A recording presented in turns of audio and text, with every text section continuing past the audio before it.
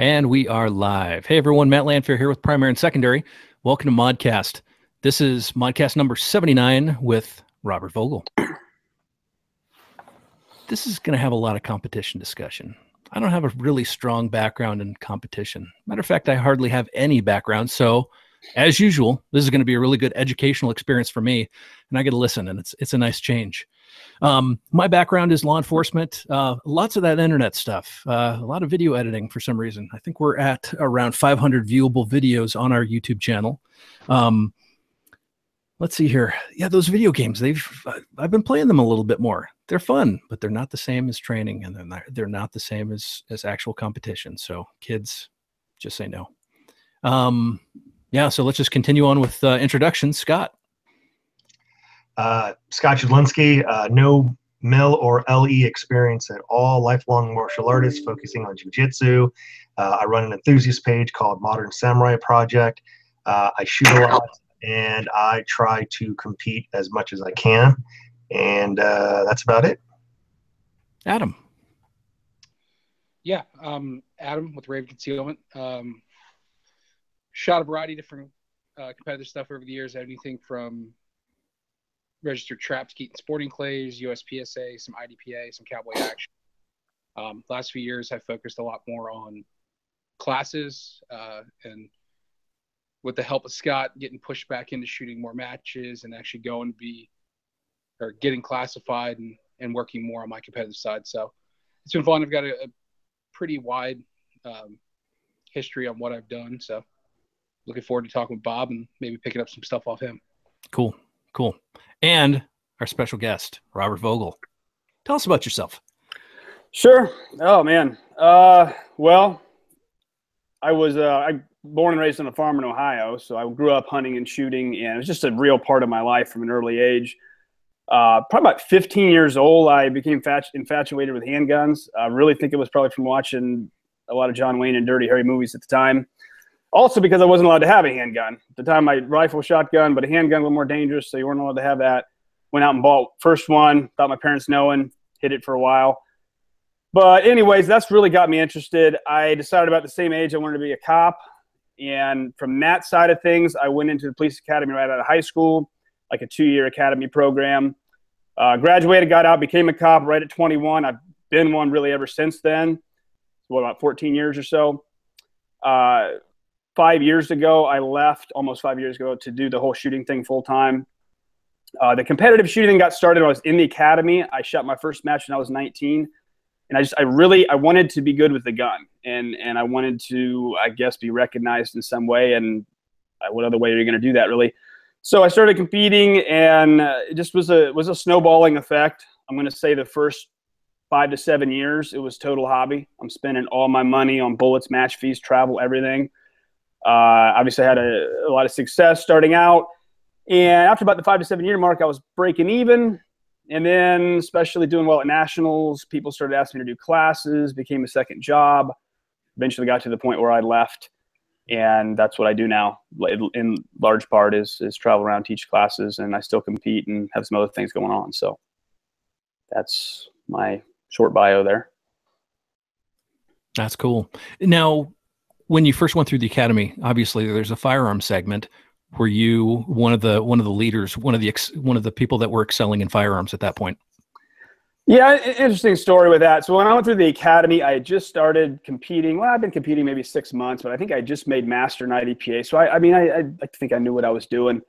Went through the academy. I'm like, I'm going to keep my mouth shut here because I don't know, you know, what these guys are going to think of that. And I was taught by a couple of old grizzled veterans, and and it didn't take too long. They heard, oh, you shoot competition, and they're kind of putting it down because I, I, think all the competition these guys knew were the bullseye back in the '60s or something. They didn't even know this stuff existed. Uh, but they were they were actually pretty hard on me, and um, I mean the shooting part was a breeze. It was really easy, uh, but I just remember that I don't know they, they didn't take it real well. I, I, got my kind of revenge in the end. The last day, I remember they were doing a shoot off thing, and, and the students all were trying to get the instructors to shoot against me, and I, of course I wasn't gonna say anything. I just get stood there, kept my mouth shut, but uh, they wouldn't shoot against me. So I guess in the end, that was was all right. But well, interesting. You know, we all we all know though that competition will get you killed in the streets. yeah, oh yeah, that's yeah, that's a whole other topic. Interesting point on on that though. Fast forward from that point, I would say about eight years later, I've been on the PD, and they sent me to uh, the state school for Ohio, like two week long state school to be firearm certified and all that. And um, I go there, I'm thinking, okay, it's gonna be kind of the same thing, and and they ended up finding out I told him. it's total, total opposite, total opposite. I mean, these guys actually were aware of the competition and, and you know, benefits and this, that. They, they had me up there teaching part of the class. So it, it all depends on, you know, whoever the instructors are. That is cool. That is cool. Hi, Tim. Ah, I see him now. Hey, Matt, how are you? I'm doing hey, good. Robert, how are you? Pretty good. How are you? I'm doing great. Long time no see. yeah, yeah. It's been a little while. It has. You're out. In, oh, go ahead. Go ahead. oh, I was just gonna say you're, you're out in Missouri. Is that right? Yep. Yep. Kansas City.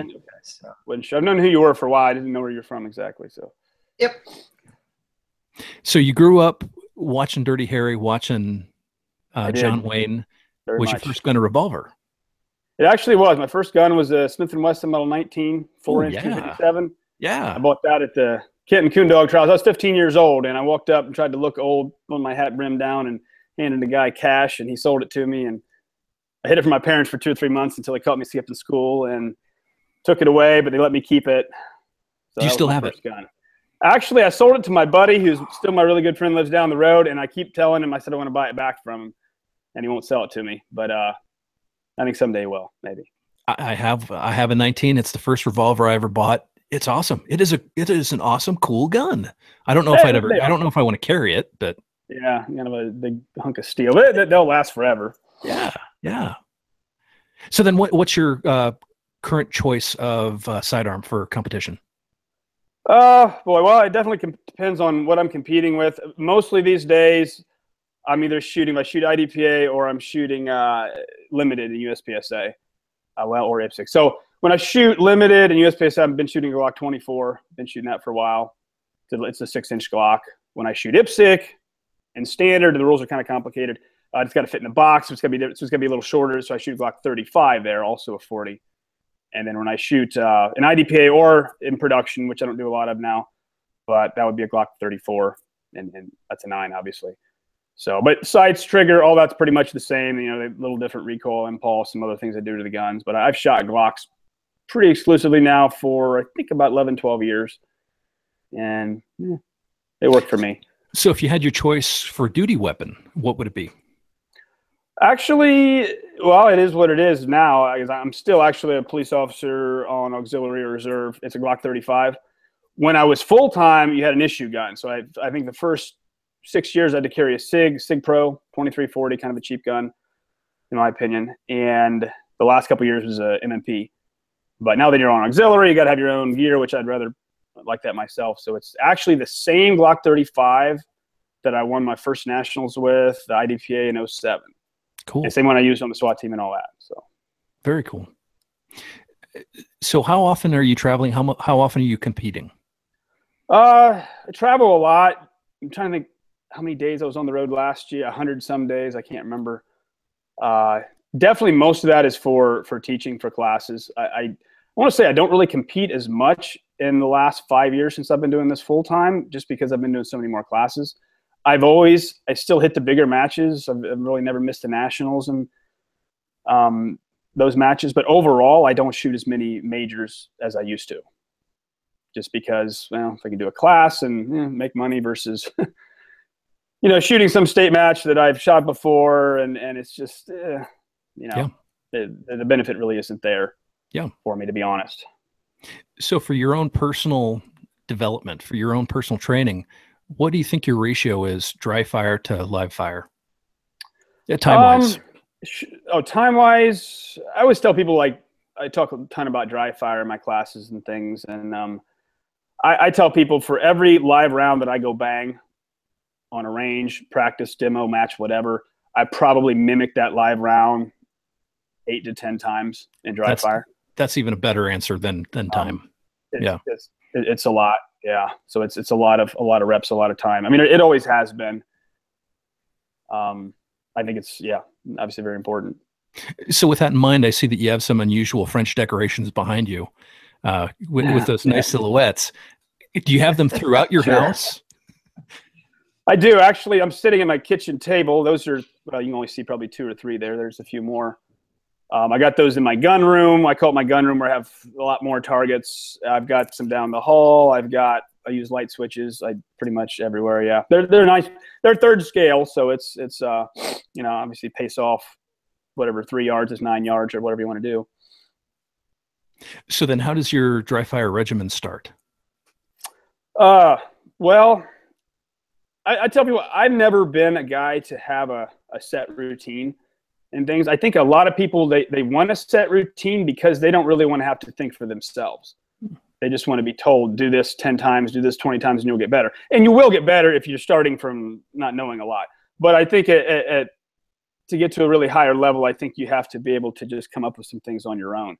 So for instance, when I do a, a drill, I, I don't ever do, I'm going to do this 10 times, I'm going to do it eight times. No, it just depends on how it feels. If it's feeling really good and I got it, I might do it 10 times to let it go. If it's, if it's not feeling good that day, I might do it 50 times. I might do it till my hands bleed. And that's just, that's a personal feel thing.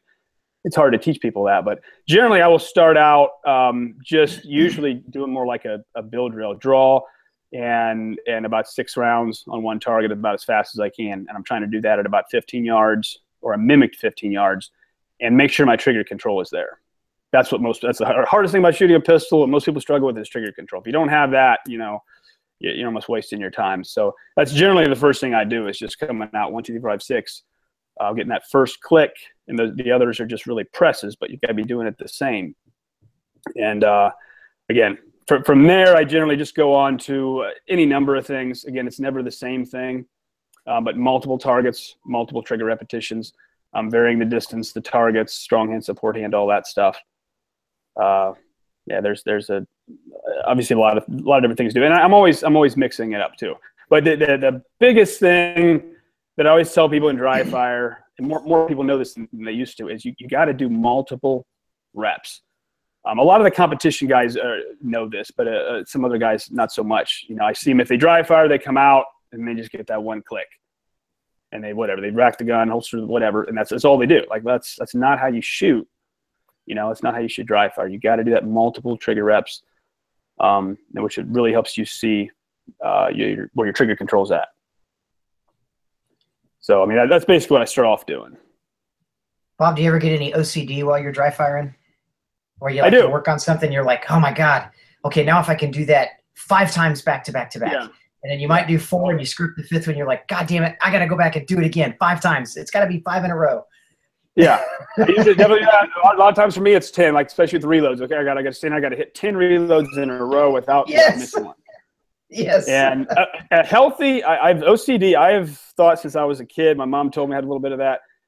That directed in the right way is is good in this sport. You know, you got you got to direct it to things that matter. You know, you can get off the road, and some things you you- sometimes you find yourself caring about something that you know it doesn't matter. So you got to not let Right. yourself do that. But um, for sure, that that plays a part with me. Yep, same here. So, what are your secrets with trigger press?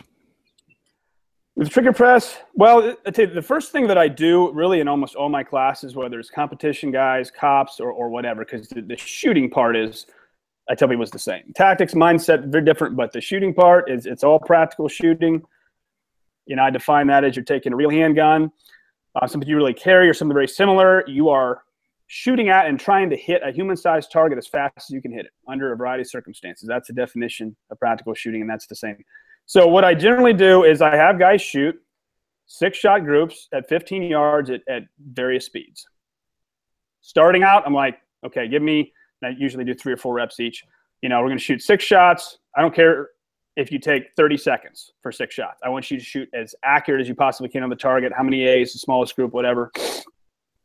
Um, we do that a few times, see where they're at, right? How many A's, size of the group, whatever. Now, you got to go faster. Okay, now I want you to shoot and I let them start from a low ready position good grip, so there's no excuses with that. Now I want you to shoot those same six shots in say under five seconds or six seconds, and we have them do that. And then we see, okay, what's the comparison between those, that group and the group with no time limit? Now we go faster. Now you got to do it under three seconds. and, and the top tier guys are you're shooting a, a, a 20 split. You, you're going to do that from the low ready in the second half. The best guys in the world should be doing that second half second three quarter. But under three for most people is pretty fast. Um, as you might imagine the groups tend to open up and more than open up they tend to be one direction or another. Most right-handed shooters it's some combination of low left right? So it's it's either left or straight left or low or some, some people a little bit some people a lot. Um, the thing is they, they, they don't the only reason they know they're doing that at that point is because well that's where the holes in the target are at. But because the gun's exploding in front of their face they are not feeling themselves flinch jerk the trigger and all that. So then we come back after that and i say now you're to do the same exact thing. Okay low ready start six shots under three seconds. Um, only the difference is you're just not going to have any ammunition in the gun. But i want you to do everything else the same way i want you to grip the gun the same way same amount of force I want you to watch the sights the same way. Most importantly, I want you to work your trigger finger back and forth the same way. And some guys get confused because on a, a Glock or a lot of guns, you get one, one trigger press and it's a dead trigger. They're like, well, how can I work the trigger? I didn't say the trigger. I said the trigger finger. So just because that trigger's dead does not mean you can can't release it the same point you normally release it, come back on it with the same amount of force. Um, and it's on them to do it right. That's a hard thing to teach people because it's, it's easy to do that wrong. When they do it right, though, and they come up and they're doing that same thing, now they see it. There's no distraction. They see that that front sight just twitching. They're like, "Oh shit, am I doing that?" Yeah, that's exactly what you're doing, man. That's why the shots are going there. So I, I believe you'll never fix that until you can see it. Once they see that, then you start working on the things they have to do to eliminate that. And it's it's all with the grip and it's with trigger control and and how you hold the gun and the pressures on your hands and your wrist. And and most of it is just this thing right here. If there's any magic in a high level pistol shooter it's it's in this thing right here being able to operate independently from the rest of the hand um, and the, the angles and, and the way you press the trigger and and everything like that. So because it's it's it's two factors that i always tell people. Number one the faster that you go and number two, the more poundage, the more pressure you have to apply with this finger, the more apt you are to tense up the rest of your fingers, the rest of your hand as you're pressing the, the trigger. That's our hands genetically. I just do not believe they are meant to have this finger work independ- independently from the others. And so that's the hardest, hardest thing to overcome. And you can get it right to a point, And then personally, I believe over time, when you do that enough, your body physically adapts over thousands of reps, and it allows this finger to work more independently than the rest of them. And that's that's that's a lot of time, but that's if there's anything with the secrets with that, that would be it. So basically, what you're saying is when you have students that are having issues, that's most likely where it's coming from. It is. It's generally the, the, the grip and the trigger control. Really, those two. I, have yet to see somebody who really had a really solid grip, um, everything right with the grip, and had trigger control that didn't do well. There's a lot of other things to shooting, of course, but those are the two things that people should really work on and master. And and I see a lot of guys earlier on, know, they've done it a while, they've done it a year, they practice, and they kind of think, well, that's just that's for beginner stuff. And I've heard all that. And I, well, you know, you haven't mastered it though. So they, they almost want to just like move on from it. Let, us talk about the cooler stuff, like with the movement and setups and all this stuff, which is of course very important. But it's like, man, okay, that, that that'll make that stuff will make you five percent better. If you just learn to master this, this is going to make you like twenty percent better. So it's it's the biggest difference for most people. So, quick question for you there, um, Bob. Um, part of what you are explaining in that drill about getting the trigger chart, there's an aspect of uh, you know speed mode in there, right? Um, yeah. And I had never really come across speed mode before I started, you know, competing um, seriously. Uh, but you know, listening to podcasts, uh, Steve Anderson, Stoeger, talking to Tim, you know, and and practicing for the fast drill and stuff like that was where I got introduced to speed mode. Part of the things that we're trying to do at primary and secondary, having our competition page, having our competition SITREPs, having guys like you who have been on both sides of shooting, even though we all know shooting is shooting, right? Um, explaining speed mode to guys who are only tactical minded it's uh it's it's like we're spitting on the bible you know you're responsible yeah. for every single round if you're not aiming you are you know you're you're you're fating yeah. Satan or tempting Satan to come up and stuff like that. How do you explain it? Because I know you go back. You know, you depending on your audience, you'll do it tactically minded or competition minded. Does speed mode inter uh, uh, overlap in each one of those, and how do you explain it? Yeah, it's definitely that's a very good question. I, and there's so many different things I could say, and I will say, I guess. Uh, I always talk with. Uh, first thing I say is is okay. These days, look at all the dash cam videos out there. You have all this footage of gunfights and shootouts and cops and dash cam. What do you look? Look at what you see most of the time.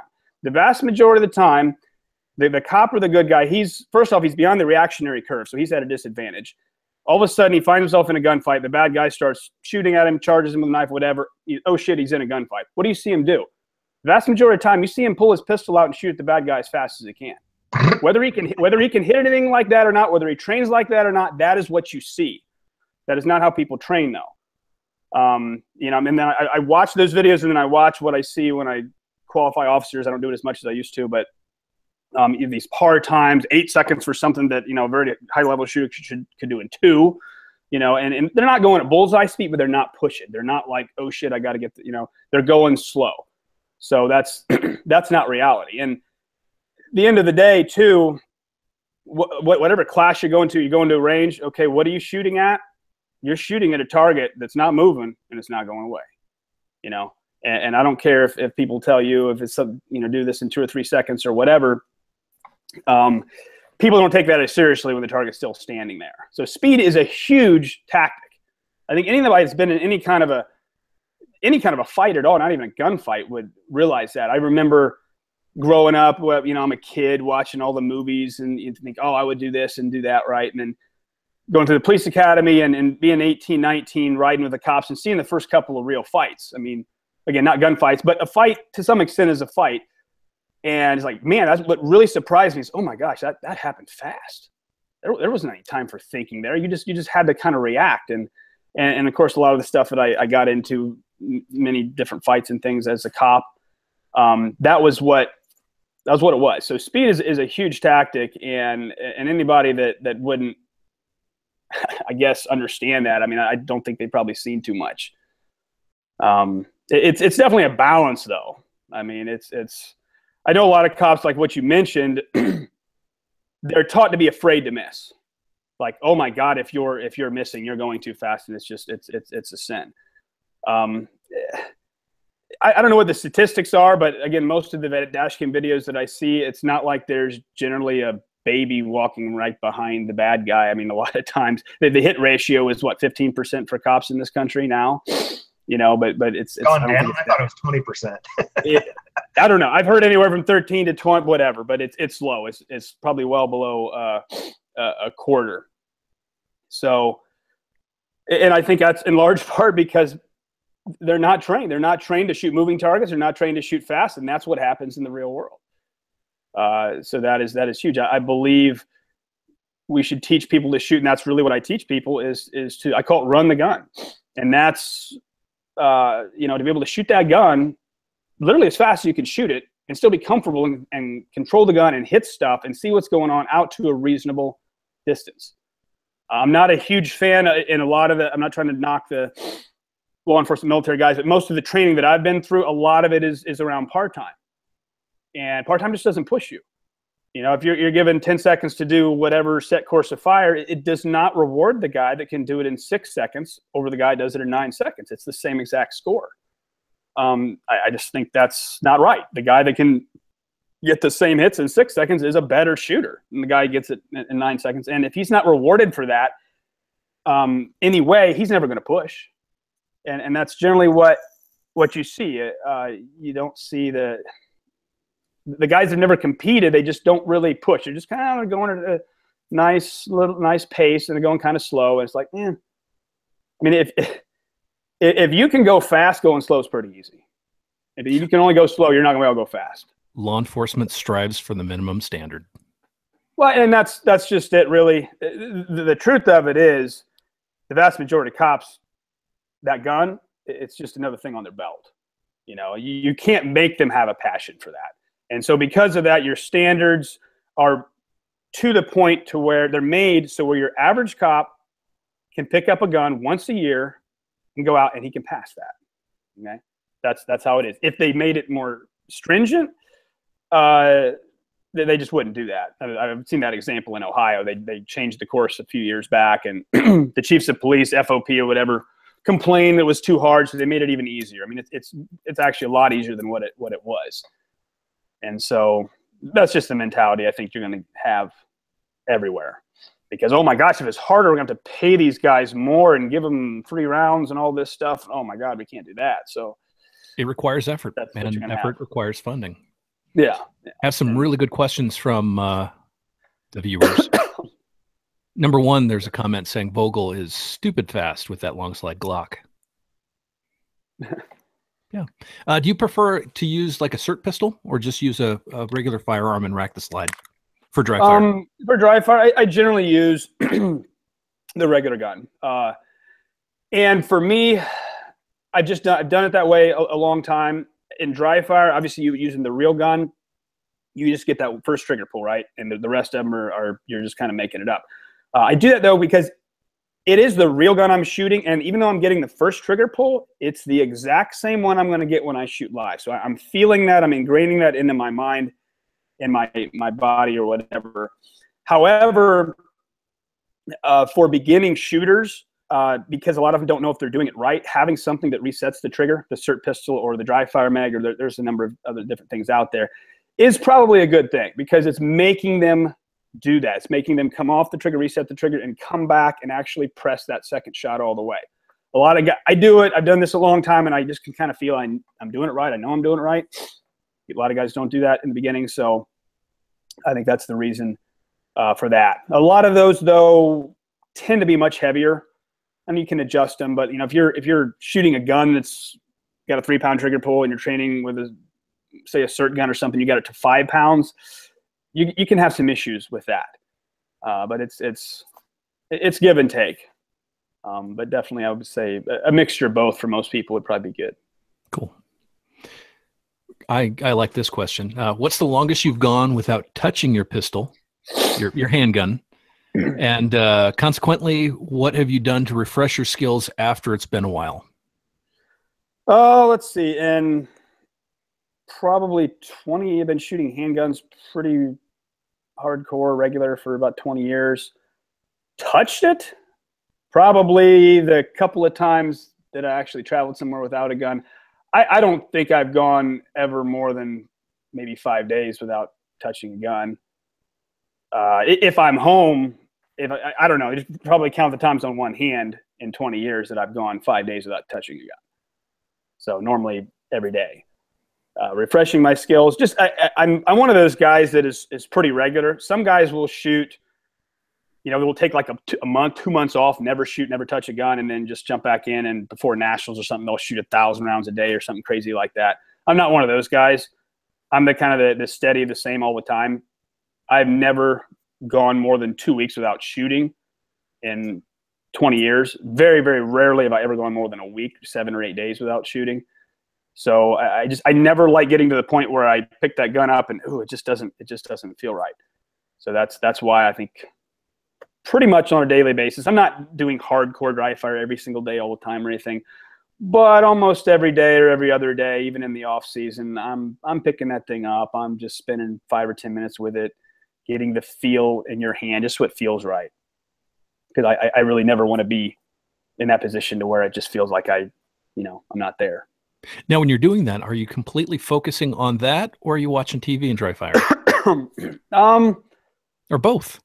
It's both. It's both. I mean, when, when I'm when I'm serious, when I'm training, it's it's usually I have TV on in the background, but I'm not watching it.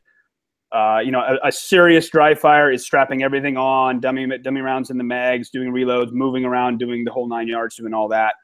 Uh, but sometimes it's just picking up the gun, even I'm sitting on the couch and TV five or ten minutes. So it's it's it's a mixture. Kind of just definitely depends on what I what I feel like.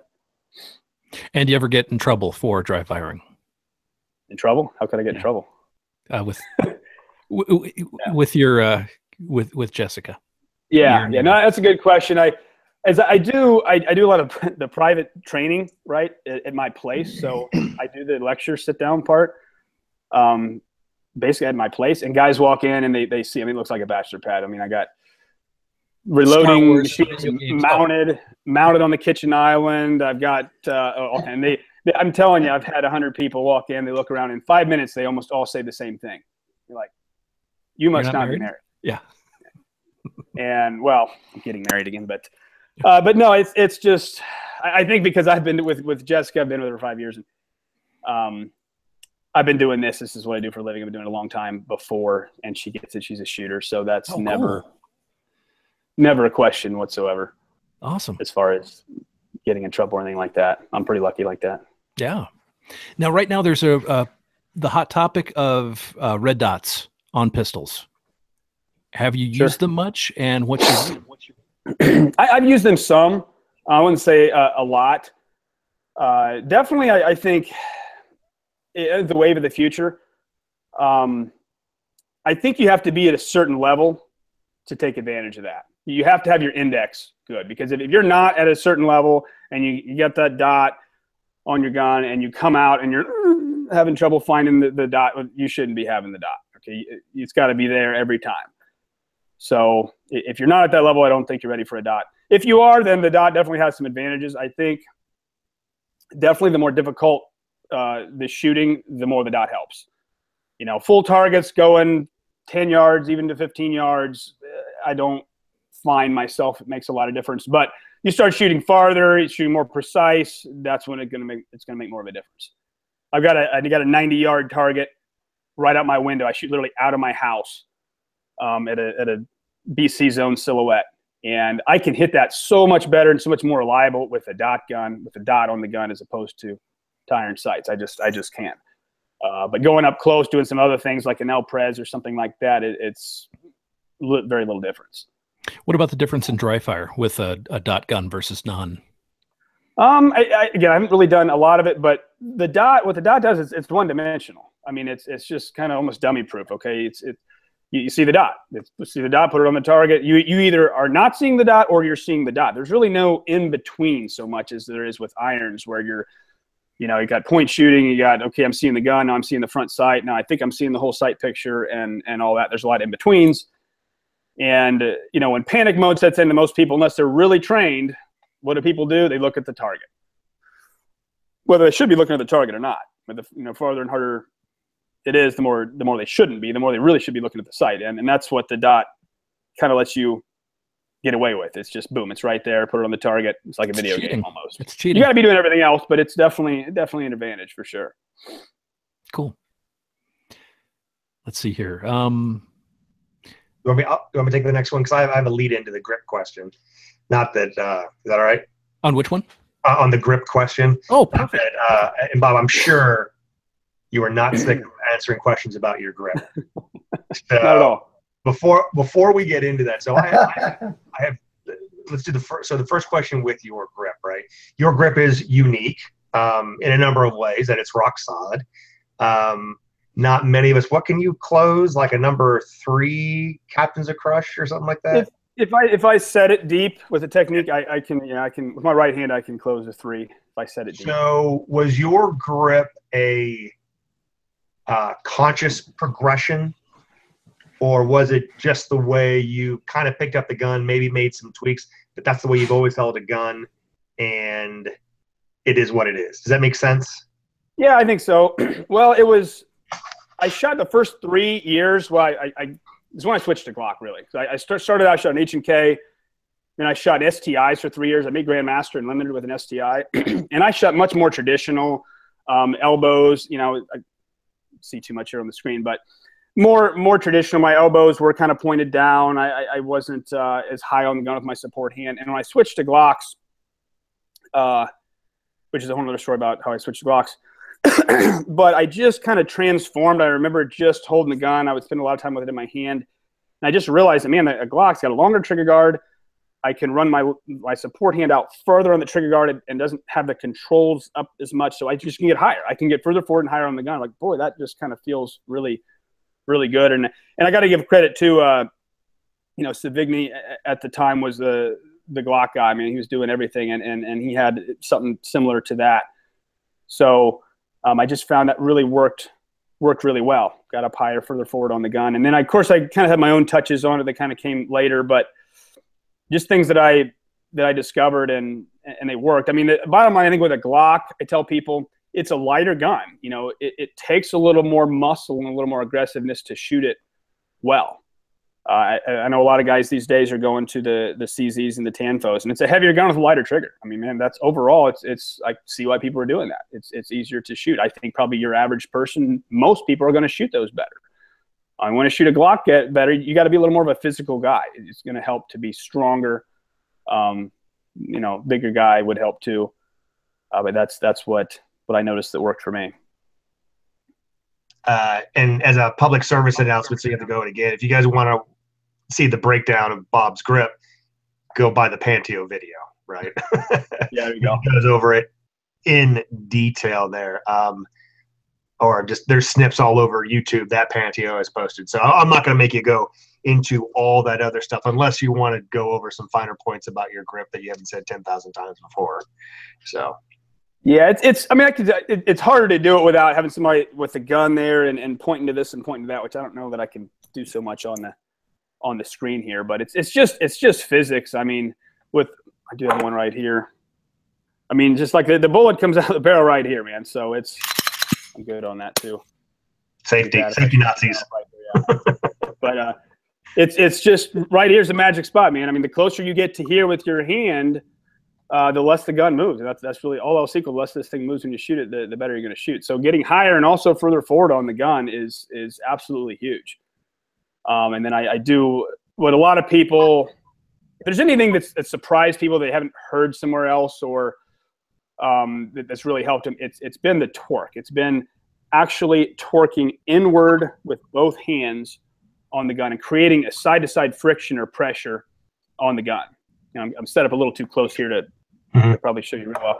But that's just, it really locks locks it. And most people, when they shoot, what so many people have a problem with is when they shoot, um, as they fire the gun, the, the, the, gun is sliding in their support hand. Okay, somewhat, and that, that causes all kinds of problems. By by torquing in and creating friction and pressure, I shoot the gun as fast as I can. Even if it's a, a lighter Glock, it's pretty snappy. Uh, if I'm doing it right, the gun's going to move a little bit. Both of my hands move one with the gun. They do not shift even a millimeter as that gun is is is recoil the combination of having your gun set up right, strong hands, right grip, and all that. But that the inward torque is is a big part of that. I think, especially for for shooting a Glock well. So, so you have a, I mean, like you said before, you have a very high grip. I, I do as well, thanks to being trained by guys like Steve Fisher, right?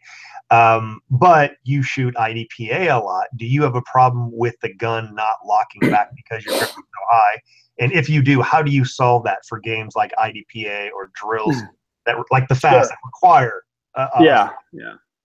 Oh uh, yeah, people ask me that a lot. Well, first of all, there's two problems you can have. The, the worst of the problem, which I don't have and I see a lot, is guys when they shoot the gun when they're up there high on the gun like that, the slide locks back in the middle of the magazine, right? When when they're not empty, and that's happening because it's shifting in your hand.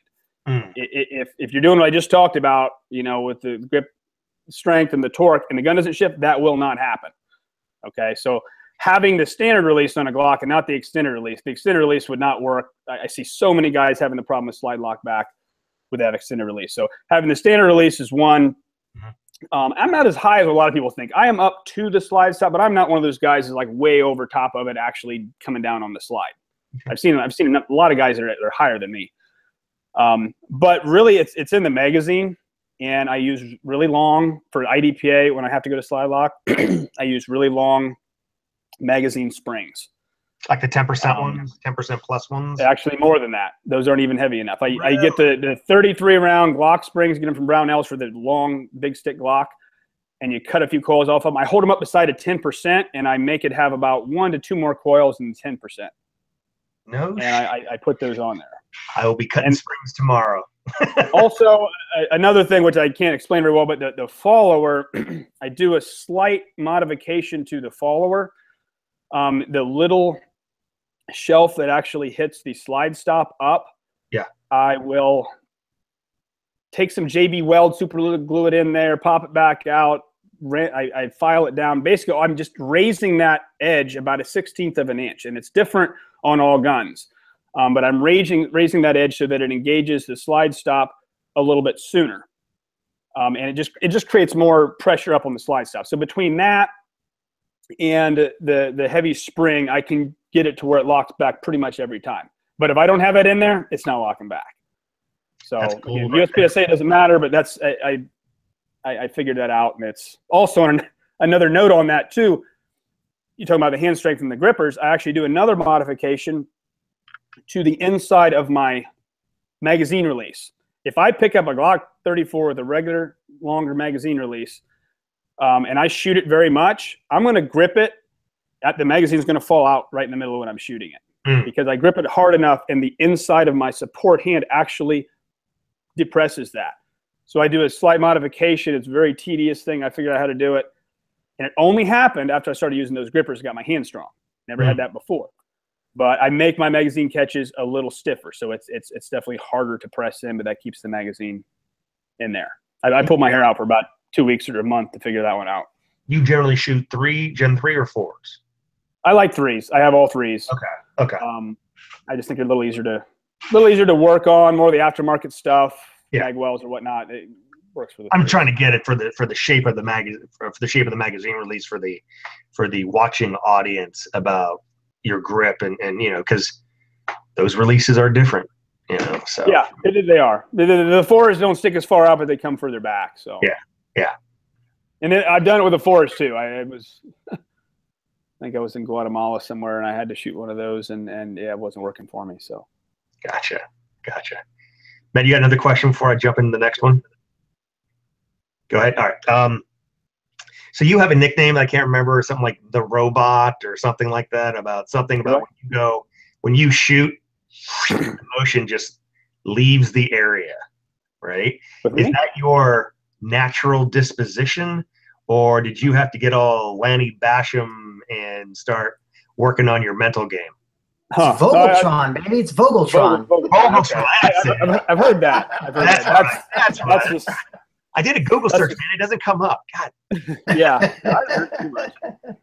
Yeah, that's. Uh, I think Taran came up with that one. of course. I, but I don't. I don't. I don't know that if if I do or if I don't, you know, show any more or less emotion than anybody else. I don't. Not really aware of that. I. I am definitely big into the the, the mental game for sure. I think I put a little more emphasis on that than than a lot of guys. Uh, you got to get your mind right. I mean, you, you got to you got to know you can do. it. You got to tell your t- tell yourself you can do it. I mean, I, I give in my classes. I give probably a half an hour, twenty minute, half an hour speech and lecture on all that. Um, something a lot of people overlook for sure. About how many rounds do you go through yearly? Um, I have kept track of that actually for ten or twelve years. For the longest time, it was about twenty thousand a year. I shot. In the last three or four or five years that I've left the PD and been doing all this training full time, it's been closer to thirty. So it's a lot, but then not a lot. I mean, some people are surprised. I know there's guys that shoot a lot more uh, of that, but I, I I tend to measure practice if I were to measure it more by how much time you spend with a gun in your hand rather than how many rounds you shoot. A lot of guys can go to the, round, the range and they shoot 500 rounds in an hour real quick. You know, I'm, I'm not just not one of those guys. I'll go there and, you know, maybe be there three hours and shoot 300 rounds, you know, three or 400 rounds. So it's, it's, it's quality over quantity for sure. But yeah, that's how many I shoot in a year. I mean, more about 30. 20 to 30 didn't actually sound as well i guess to me it's not as surprising as i thought it would be like I, I, I figured you would be like ah 40 45 50000 rounds so when you said 20 i'm like whew, okay cool I'm, maybe i'm on the right track then because i'm about 20 to 25000 a year too Okay. Yeah, it was when it was 20. And be honest, when it's been 30 in recent years, honestly, that's kind of less practice. The, the reason that round count is bumped up is just I'm doing a lot of the same stuff in demos and classes. So I've actually had less practice, like going me going to the range, doing what I want to do, um, less of that in the last three or four years than I had before. Um, do you find it affects your kind of affects your game a little bit though Uh, maybe a little Or bit. no? I mean, I, I guess to be honest, it- it's it's kind of changed for me as opposed to say, let's say seven years ago or seven to ten years ago, when I was just starting into doing classes uh, and I was shooting more matches. I was obviously a lot more comfortable shooting matches, more used to this, and classes are like, okay, I got to really make sure. It's almost like it's changed because I've done so many more classes. I don't shoot as many matches. Um, you know, trying to get back into that groove, uh, shooting matches has sometimes been been a little challenging. Just just trying to get into my my comfort zone and and and feel. I mean, I've done it a long time, so I, a lot of it just is writing on experience, I suppose. But it, it would be helpful, I think, if I were if I could shoot more matches. With those round counts, where are you finding the failures in your weapons? And how often do you experience failures at a competition? That's a good question. Uh, I tend to have more like, I guess, match guns. I, I, I, train mostly with, I got a, again, I got different guns for everything, but uh, more with practice guns and the match gun. Like, we got, I'll bust that out a couple weeks before a match and really only, only shoot that so I don't really beat it up too much. But on a Glock, the, the things that fail the, the, the quickest are generally the, the trigger spring and the ejector housing and your slide stop spring are the two things that I see fail generally first on a Glock. So knowing that, I'll, I'll change those a couple times a year and uh, some of the guns that I'm using a lot. And the firing pin I, on the 40, for some reason on the 40s, they've been wearing down a lot for me. The nines, not so much. I don't know what the explanation for that is, uh, but they'll they'll kind of burr off, and and I'll, I'll change those up sometimes. Uh, magazine springs when you're shooting when you're shooting limited as opposed to production doesn't matter as much, but shooting limited, you're stuffing them all the way full, and it's it's you can have issues uh, changing those. Um, definitely, definitely equipment sensitive though, uh, for sure. Getting your getting your loads right is a huge part of it too. A lot of guys overlook that. Most of the malfunctions that I see are more of a ammunition um, problem than a gun problem. Now, someone here posted that uh, most competition guys try to cut weight from their slides, and you're adding weight to yours. Yeah, yeah, yeah. I get asked that a lot too. Uh, first off, I think it's it's a little different with a Glock um, because all the weight's in the slide. So how this all came about was I remember this was back in 2010, I think it was, and I shot uh, Taran was with Salient Arms at the time, and he gave me a gun at 12 Glock 24. It was all hacked up, cuts on it, and so the, the, actual weight on the 24 was less than a 35. And generally, uh, it's about two ounces more. It should be. So, anyways, I shot the gun for a while, and back-to-back nationals, limited 10 and limited nationals, and uh, I didn't do very well at limited 10. One of the worst nationals that I that I had. I just wasn't just wasn't doing well. And I remember after the the match, in between the limited 10 and limited, like, man, I just I just don't really like this gun. I, I had my old gun, regular 24, like I'm gonna I'm gonna I'm gonna shoot that. And I shot it just world of difference. It's like, my gosh, this is just so much softer. So basically the way I explain it is the theory with a lighter slide is okay, I'm going to have a lighter slide so the gun cycles faster, gets back on target faster, I can shoot faster. It's a good theory. The problem is you're making the gun a lot more violent. Um, with a heavier slide, is it technically cycling slower? Probably yes, but it's still cycling a lot faster than you can shoot the thing. Um, so it's I can shoot the same splits with a heavy slide I can with a lighter slide, but with a heavier slide, it's softer. And where that makes a difference for me is on the farther, harder shots. Uh, it's just it's and more in control of it. I'm able to visually keep track of what that gun is doing as opposed to just like boom boom. It's it's just happens so fast with a with a with a lighter slide gun, you can't even see as, as well. So that's that's made a big difference for me. That's the reason I actually prefer the 24, the six inch Glock over the, the 35. Um, because not only just for the sight radius, but because it's actually a little heavier, it's a little softer to shoot. And I always point not to try to uh, make fun of anything here, but there's a lot of companies out there that are on the Glocks, specifically Glocks here, hacking a bunch of stuff out. It's like, okay, nobody's ever won anything with those.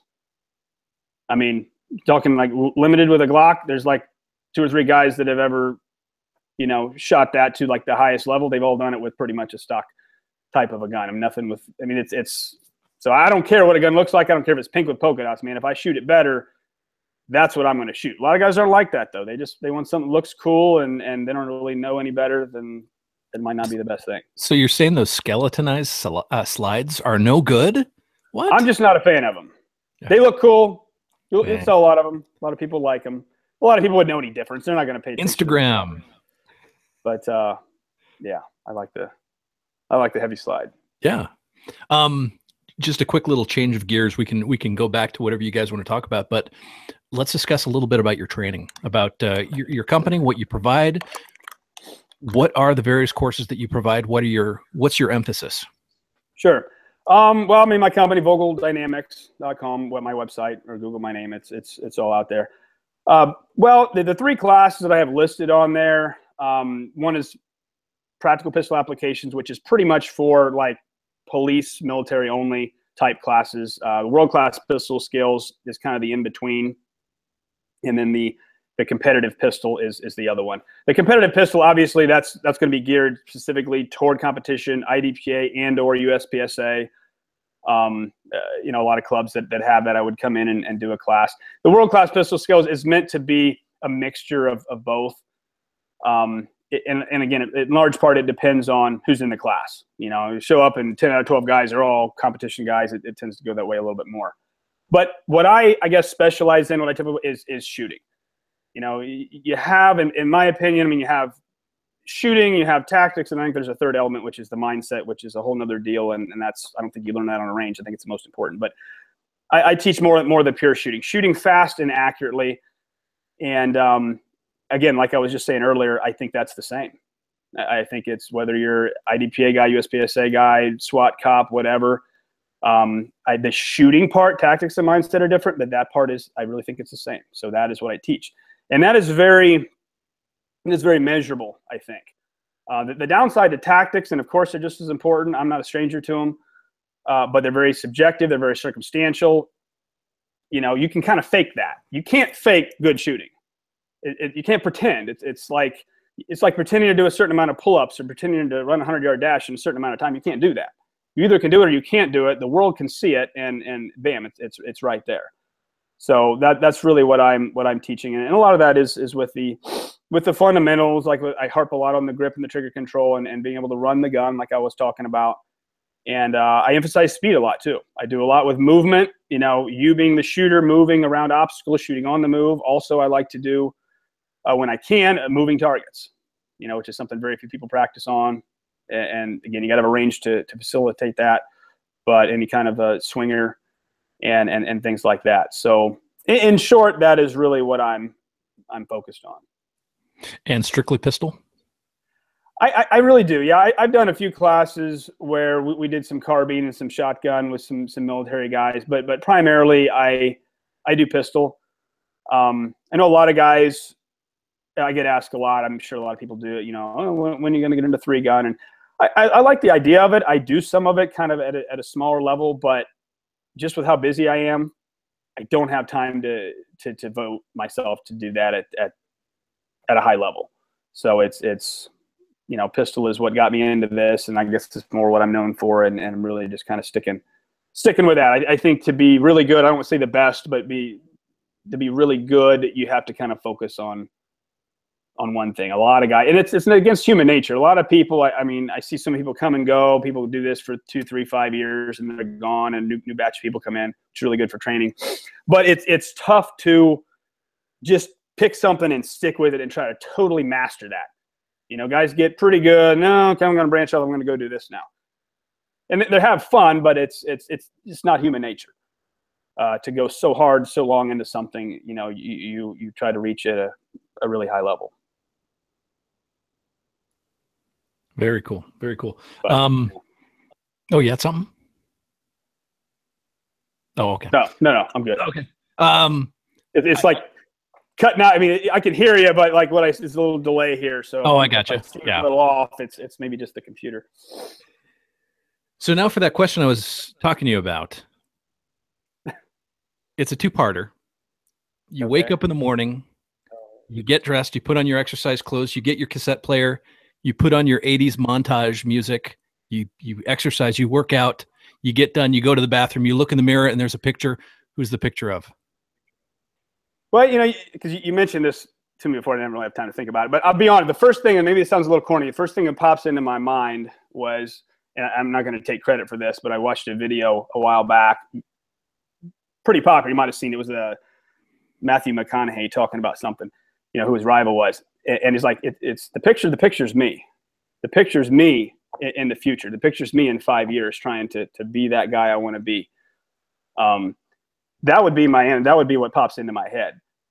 Uh, I mean, there's coming through the ranks as from the competitive side of things. Coming up, yeah, I could, you know, name some names from when I came up. Obviously, Dave Sevigny, Rob Leatham, guys like that. You know, coming up, like I, I want to be able to, you know, be where he's at. Able to do that and beat him and all that. Uh, but a, a, as a whole, I mean, it's it's I'm I'm competing with myself to be as good as I can be, and I don't know. That that's the way I would interpret that question. That's what I would say. So do you ultimately grab that picture and crumple it up and throw it down because yeah. No. Well, I, I, I don't know about that. Maybe. So maybe. are there any are there any guys that you uh, run into at matches and then it tur- it turns it turns into fun and then you get then there's a bit of a rivalry going on. Yeah, well, it's shooting a lot of like the nationals and, and things. it's the same guys. I mean, it's yep. super squad or what you want to call it. It's pretty much the same group of guys every year, um, and you've known them for years. So it's like you're there. I mean, I'm friends with them but you see them a few times a year. It's, uh, I mean, you may go out to eat and dinner with him. I, am not, I'm not really overly close with anybody. I don't know if, if that's intentional or not. Um, Is it because you're a cyborg? It, no, no. I mean, it's like in, in USPSA or whatnot. It's it's you know, you're on a super squad of ten or twelve guys. Most of those guys could win on any given day. So it's it's uh, it, it's it's competitive. I mean, some guys joke around a little more than others. I've definitely learned that with with the nature of different guys, and some guys you can talk to a little more than others. Um, I, I just try to try to be try to be somewhere in the middle. I'm not I'm not one of those happy-go-lucky joke around guys all the time. I'm maybe a little more serious, but I'm not I'm not like super serious to where you know I'm gonna be an ass to somebody or not talk to anybody like that. I, I think I'm somewhere in the middle. Now, do you have that same type of a I would, I'm not going to say attitude, more of that persona when you're on duty? Um, when I'm on duty, well, it's it's been it's been a while since I really really worked when I was full time. as far as like what kind of a cop, I what I think I was, I I like to be a cop that that spoke other people's language. I, I, was not one of those guys that was like a yes sir, no sir, very official. I was the opposite of that. I mean, I'm, I'm just talk to you like you're a person, and especially dealing with you know, as a cop, let's face it, they deal with the 1% of society so that other people don't have to deal with them. And so the other people don't really have to know that they're there. And so you have to be able to kind of get down on those people's level and talk like them, you know, and, and, and use their words, their slang, cuss with them, all that stuff. Because they, they relate to you. They'll, they'll talk to you more when you do that. Yeah. And I don't know. I, I guess that's, that wasn't always maybe the best way to be. Some of my supervisors might not have thought that, but I, I thought I related better Oh, um, absolutely. Um, people as that. Yeah. that. That's the kind of cop I guess I think I was. Same here. I am. Yeah. Still, yeah. Well, and and you know, I, I was a I was a dare cop for a number of years, and I applied that too. Talk to the kids that same way, yeah. and it worked yeah. real well. Yeah, it's it's definitely the they call it the, the gift of gab. I mean, being a cop at 21, getting hired, and and just getting thrown out there, and that's the biggest thing. Just learn how to talk to people. Learn how to be thrown into any situation where it's you know, a lot of provocative situations where people are yelling or shouting, and to be able to, to know what to say, just have the right things come out of your mouth and be able to calm people down and move, you know, and that's once you got that, took you know a couple of years, but once you got that, then you you started to feel a lot more comfortable. Yeah, and impromptu speaking is not that big of a deal anymore. Yeah, yeah, you just it just kind of comes. Matt, you know I was thinking of when you reminded us that you were a dare officer there, um, in your video game thing. Remember that scene where Kramer is like, "Hey man, how's karate going? I'm dominating." I can just imagine yeah, with the kids. Elementary school. yeah. That's pretty much me. Yeah, how's Call of Duty going? I'm dominating. dominating. yeah, that's me. uh, so hey, so Bob, when you were um, uh, I don't know, when you were first getting started, I don't know how long that was, but uh, who were some of the guys that you kind of looked up to, um, or you know when when they were when when they were um, on deck and you you would just stop everything and watch them. And is there anybody like that now that you'll stop what you're doing to watch them run? Um, Yeah, I guess when I was coming up, thinking back to let's say about ten years ago or so, when I would think of myself as as coming up, uh, definitely, I'd probably Dave. I mean, there's one name it'd be it'd be Dave Sevigny for sure. I mean, he and he's he's a friend of mine to this day. But he was, and a lot of that because he shot Glocks, obviously. And I'm I'm coming up at that time. Really, it was Dave, and nobody else had ever done anything close to what Dave had done with the Glock. And I'm kind of coming up trying to be that guy. So uh, definitely was was him, and you know would obviously watch him and everything. And, and now, I mean, on, on a super squad, I'm watching everybody. I mean, you're you're you're you're watching everybody because everybody there, there's ten or twelve guys, are all usually good enough uh, to win. At least you start out watching everybody. Now at the end, the last day, last stage, if you know some of these guys are they're out of it pretty much, then you don't tend to watch them as much. You tend to kind of the longer the match goes on, the the more it it comes down to just watching maybe a few people. Uh, is anybody like that now? I mean, it's that's really that's would be the answer to my question. But uh, in large part, what's changed, and that goes into the whole mental side of things, is in the beginning.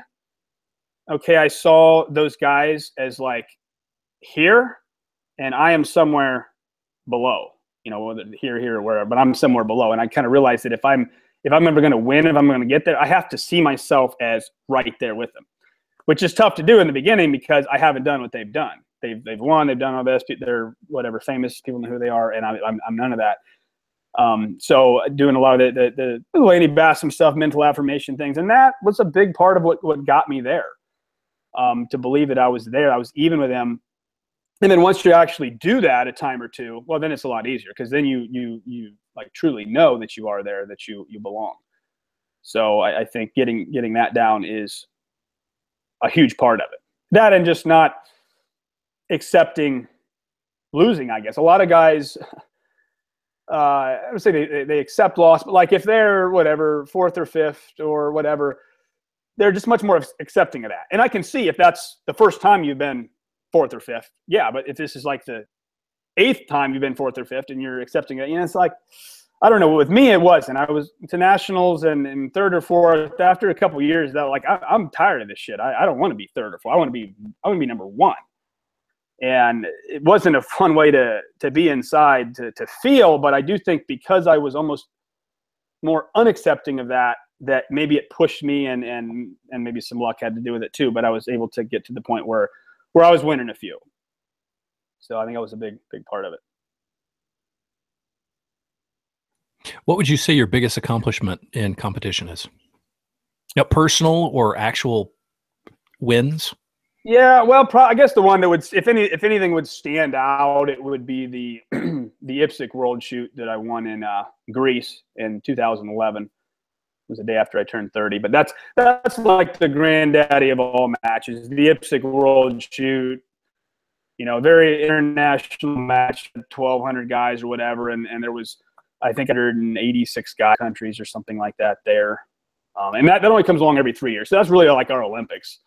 You know, they play the national anthem, the whole nine yards, and, and, and definitely have a more of a to do than, than anything else. And um, was able to win that. So. And you shot that with a 17, didn't you?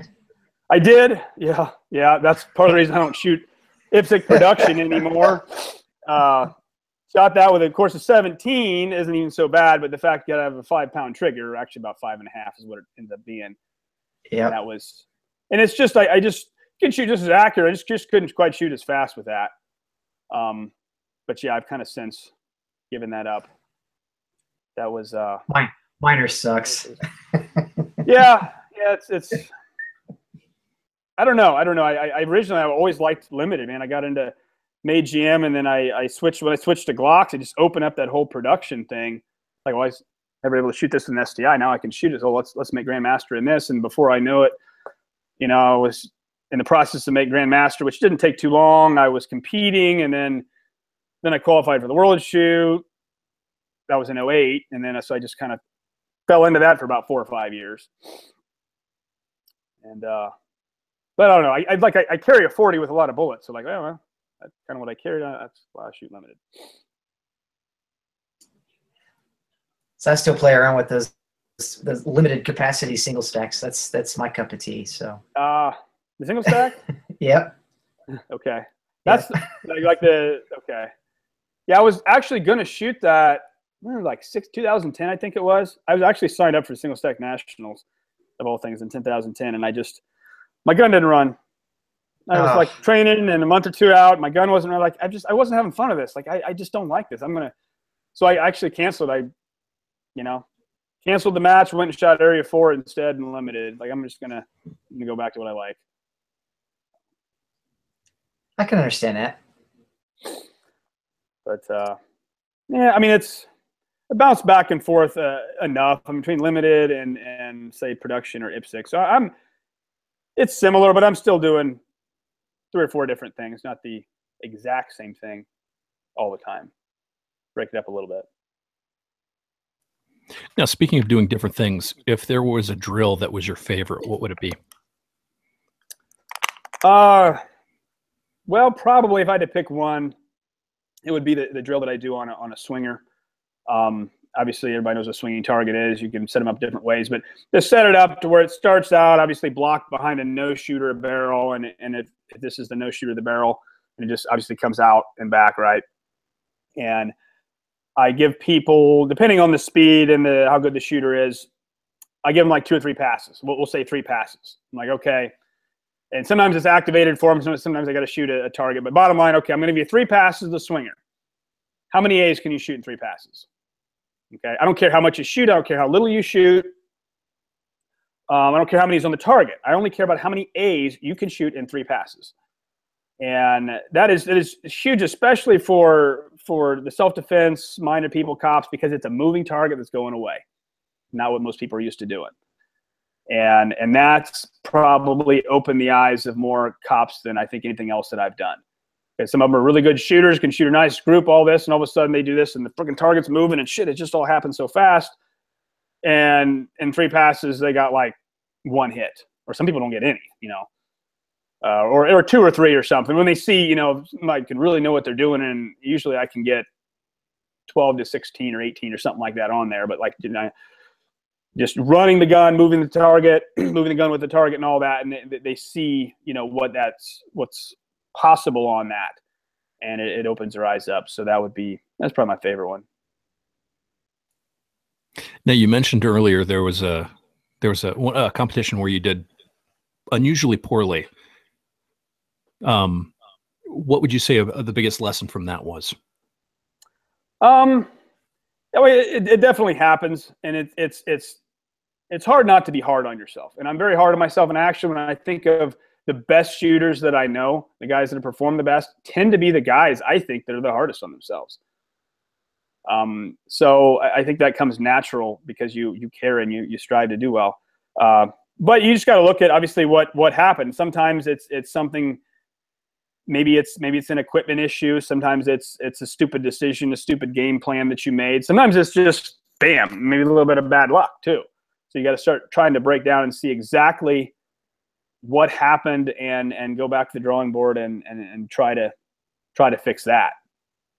Um, in that particular case the one that i mentioned that you brought up it was i want to blame it a little bit on the equipment but it was it was some harder shots that i just i, I wasn't able to make some of the harder shots um, in that in that match and just like felt the gun was flying all over the place and and the very next back to back match, same match, different gun, made a big difference.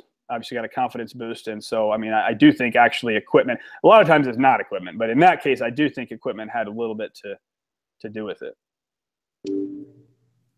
So, so speaking of that with the equipment, and and guys, correct me if I'm wrong. I don't shoot limited, but uh, so in the 2000, 2016 Nationals, you got second, right? Yeah.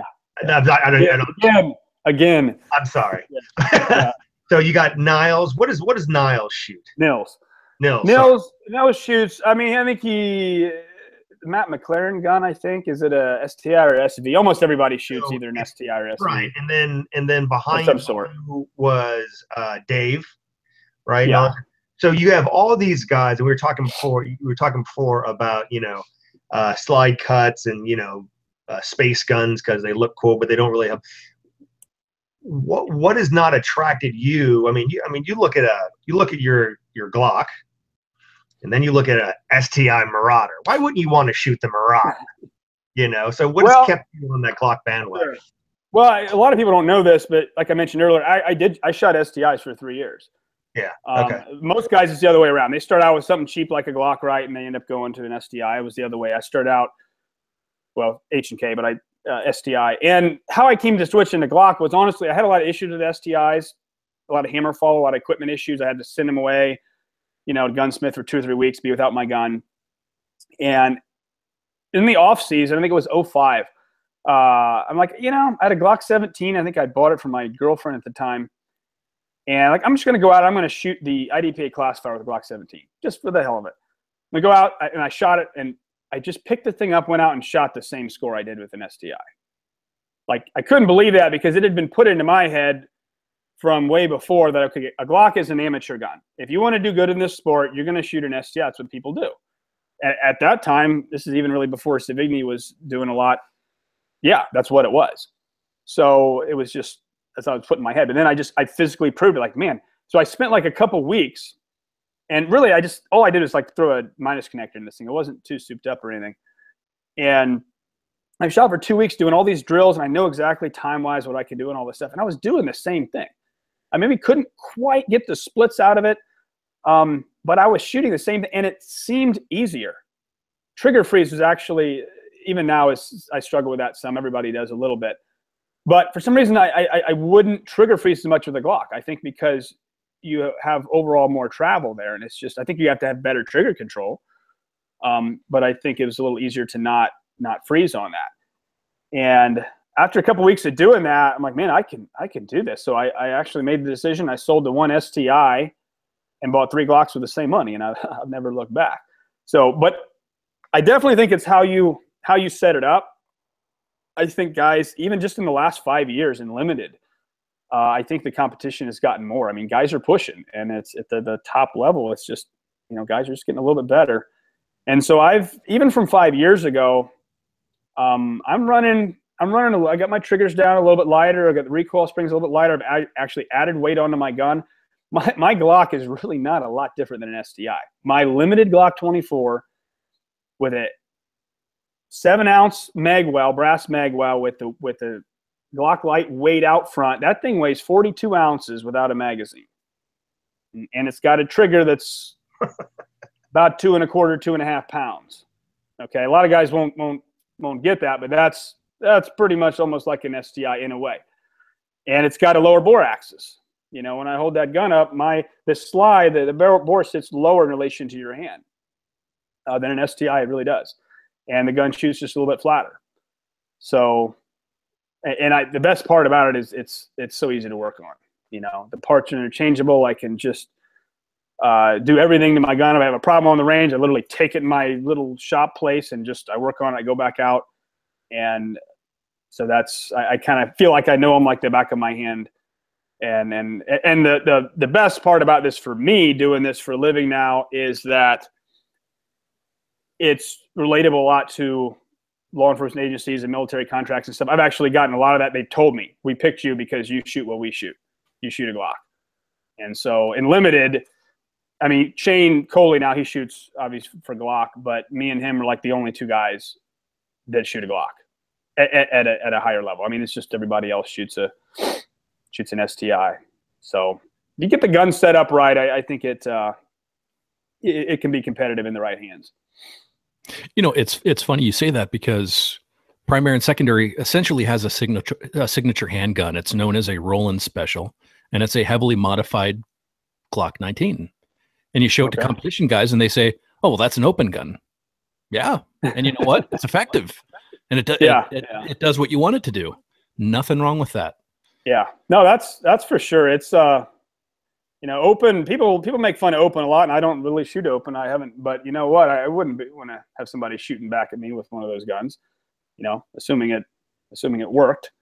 Yeah, Uh, and being a Glock, there's a good chance. You, sure, you can mess it up, but Yeah. if you're using the right That's- components, And guys, guys are figuring that out more. I, I, I did just like last month or two months ago. I did uh, some training with some some very uh, I, I can not can't say the unit or anything, but some very elite uh, military guys. And that was one thing that surprised me the most was just how modified their guns were. They were basically doing the same things. Their armors were doing it for them, but the same things I, I was doing. They had really nice triggers on them. and you know a lot of them had a lot of them had dots, a lot of them had comps too, compensators and dots. They were essentially shooting open guns um, because that's they shot better. I mean, bottom line, when you're when you're concerned with performance, that's what you do, and and that's what they had. And that's a Roland comp red dot. Yeah. Yeah. yeah. Um, good question here. I wish I would have thought of asking this because it makes sense. Um, what's the biggest benefit uh, a person can get from that competition and apply it to either everyday carry or law enforcement? yeah, uh, biggest benefit. I, mean, I think there's a lot of benefits. I, I think one of the biggest benefits it really is. I think shooting shooting under pressure. I think that's a lot of it. It's obviously pressure is different. People say, "Oh well, you know, the pressure of being in a gunfight." Well, yeah, of course that that can be to some extent, though.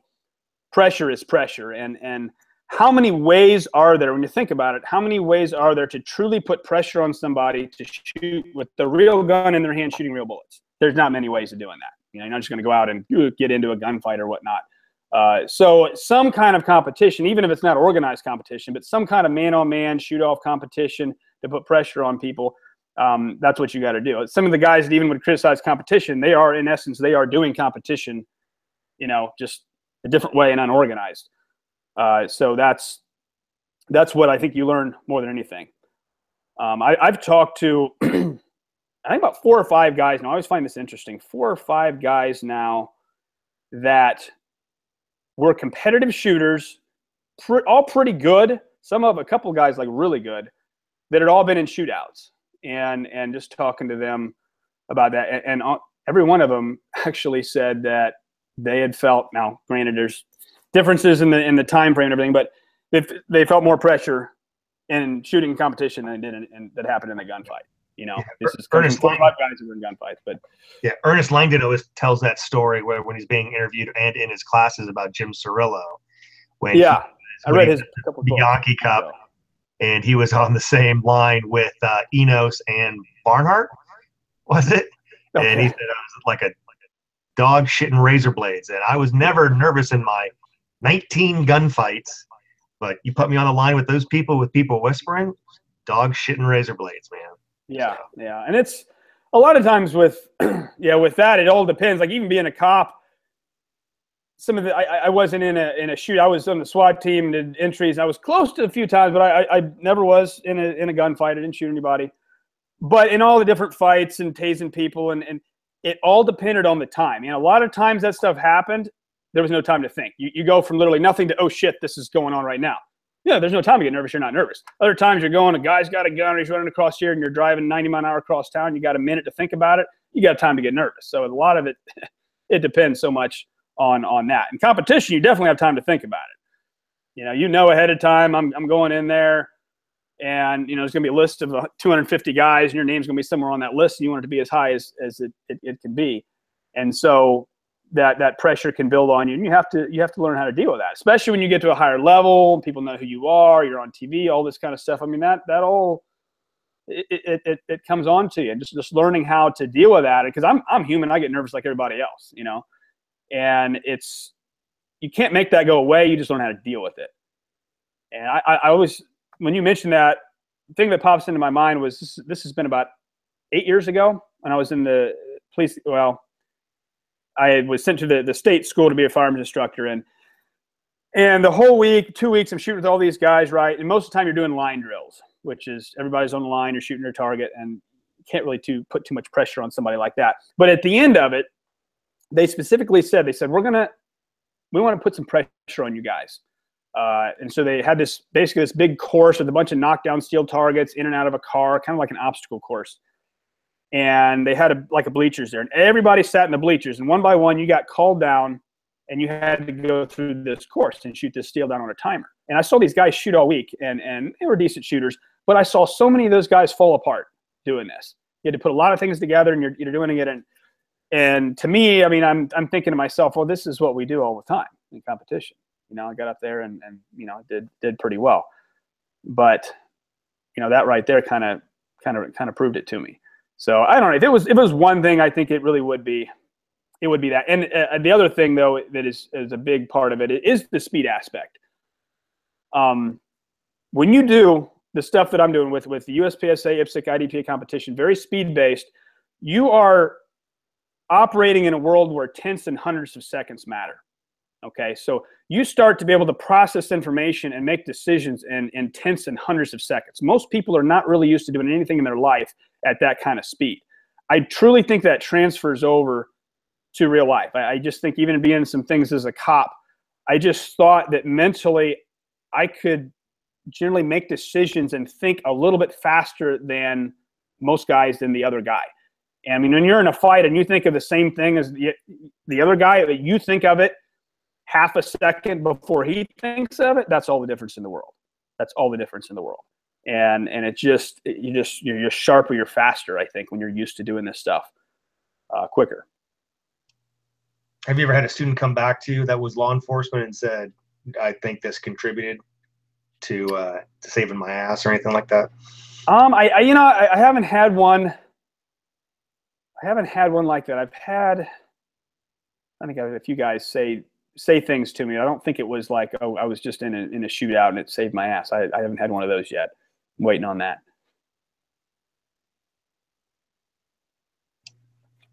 Let's see if we got anything up here.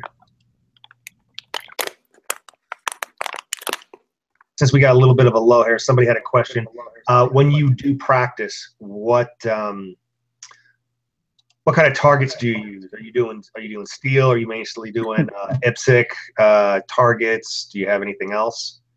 Yeah, I mean, then after you answer that, you want to tell us about the third. Um, I mean, guys who who game know about the one third quarter targets back here. How, how do you use those? Why don't you use full size targets because they're more realer? just yeah, just inside. The only time I would use the third scale targets are inside, obviously for dry fire. I, I don't ever shoot really the third scale targets, but obviously to get distance here because most people can't set up a 25 yard full size target in their house. So you can set this thing up and go a third of that. You know, you go whatever eight yards or eight and a third yards, whatever it is. That's 25 yards, um, something like that. So that's just in the house. But what I practice with on the range, generally, if I'm training for a match, I'm trying to replicate a match. So I'm shooting uh, whatever targets those are, USPSA targets, IDPA targets. Um, I do a lot of hard cover, a lot of no shoots, make a lot of tight shots. I try to make things harder in practice than, than what they will be in a match. So when you go to a match, it's a little bit easier. You get kind of a confidence boost. Uh, if you practice easy and go to match and it's hard, then you're like, boy, this looks hard. I'm not gonna. I don't know if I can do that. Uh, you, you, don't want to feel like that. Um, usually, I mainly train with knockdown steel uh, because again, that's that's what you have in a match. Uh, a lot of guys train with static steel, obviously steel that doesn't fall. Um, the problem that you can run into with that, a lot of people overlook, is those the, the static steel that the targets kind of call your shots for you.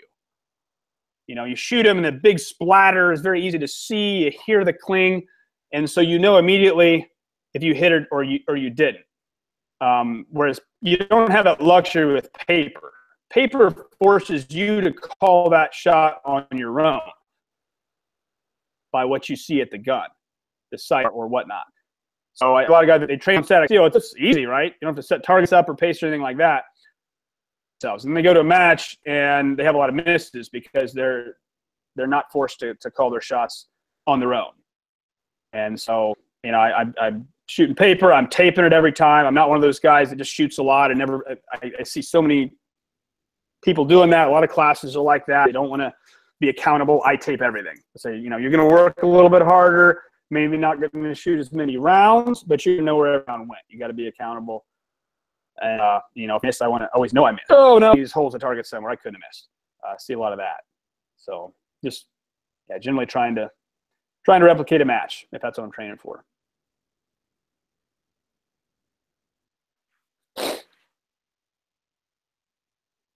Hmm.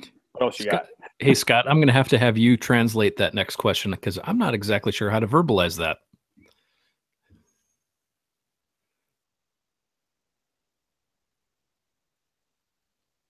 So yeah, I'm trying to understand. I'm trying to understand that question myself. Yeah. But, so, uh, what would be your one bit of advice to a new shooter? one bit of advice to a new shooter. Um, I, I would definitely you got to you got to hit the fundamentals hard right up front. You know, you got to get that, like I said before, that the, the grip, the trigger control. Learn that. Uh, there's so much out there these days. YouTube, you don't even really have to take. I mean, obviously taking a class, you're to get more, but you can get things without having to take a class. So, you know, look at the best guys out there, the guys that are, are qualified, whatnot, and and and learn that. Learn how to shoot first. You know, before you try to delve too much into, like say, all, all the all the cooler stuff. Um, learn how to shoot first. And, and what, okay. So what is your definition of someone? If you see someone shoot and you go, yeah, that guy knows how to shoot. What, what does that What does that look like? Are they passing a drill, for example? Do Well- you get a 95 on a BA 100, or he can shoot that torture at five yards? What does What does that look like to you?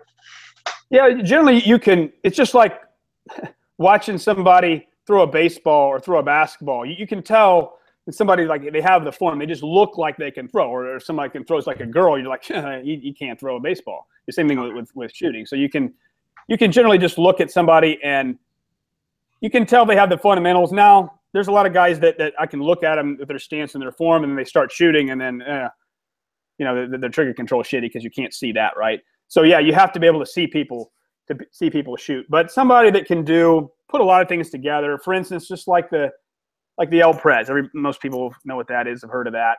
It's got a little bit everything. You got to draw. You got splits. You got transitions. You got to reload in there. Reload's a big part that a lot of non-competition guys don't work on or not very good at it. Um, so, for instance, a guy that can shoot that uh, well, uh, you know, the top level guys in the world do that in four and a half seconds or faster. Uh, but I'm not even saying have to do it that fast. But if they can do that reasonably well, so you know, five, six seconds, seven seconds, somewhere in there, um, then I would, you know, say that guy knows what he's doing. Uh, but yeah, it's it's again, it's it's just that balance of accuracy and speed. So yeah, the the, the fast drill, the El Prez, any of the classifiers, all that stuff. So let, let's talk about terms of classification as, as we have more and more people that are either duty guys or uh, armed civilians that are trying to get into, into uh, competition. And we'll just start off with uh, like USPSA classifications, right? Because they're easy, they're just letters, right? So for the audience out there, they, it goes, you know, D, C, B, A, Master, Grandmaster. Um, for the purposes of a, con- so they have something to work toward maybe um, in a loose in a loose definition what is what classification makes a person a good shooter in your mind when they get to what level Yeah. Well, I obviously it all depends on definition of good. Um, USPSA compared to say IDPA is definitely tougher. Um, I know a lot. There's a lot of guys that are B class. If, if you're B class, you, you have a pretty good. Just you probably know what you're doing for the most part. You know, a lo- a lot of B class USPSA guys that are also like master class IDPA guys. Uh, A class, if A class or up, then I'd say you definitely know what you're doing, um, uh, for sure. So uh, and and a lot of that too. I tell people when I talk about how to practice, what to practice, how it came for me. I, I wanted to be a good master from the beginning. I mean, I just sounded really cool, so I want to I want to do that. What helped me do that? Some of what helped me do that is I looked at what exactly do I have to do to be a Grandmaster. It's all out there. All you do is read the rule book. Okay, I able to shoot 95 to 100 percent on on this class these classifiers. Right, there's like 50 of them or whatever. And hell, you can look at these. I can print them off on my computer. I can go to the range. I can set these things up. I can shoot them. I can go over here and find out where my score would rank me. I would do that a lot.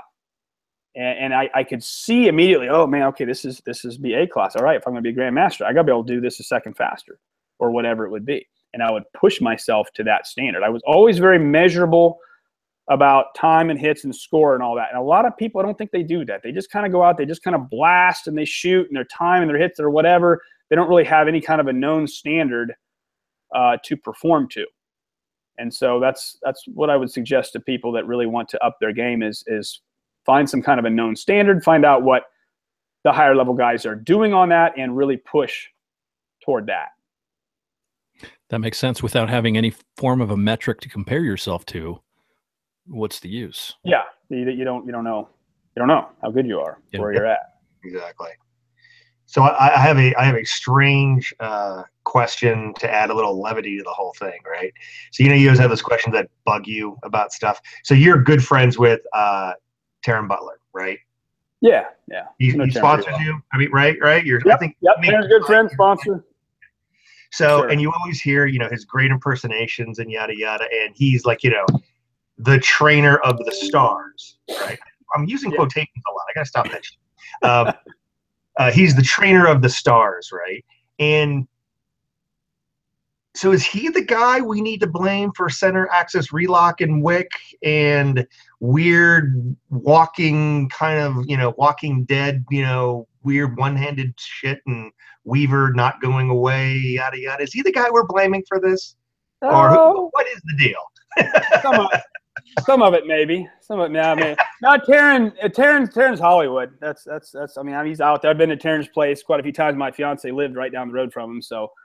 Um, but there's definitely like a like a cool factor that goes along with all that. Um, that that it, kind of has to be, I guess.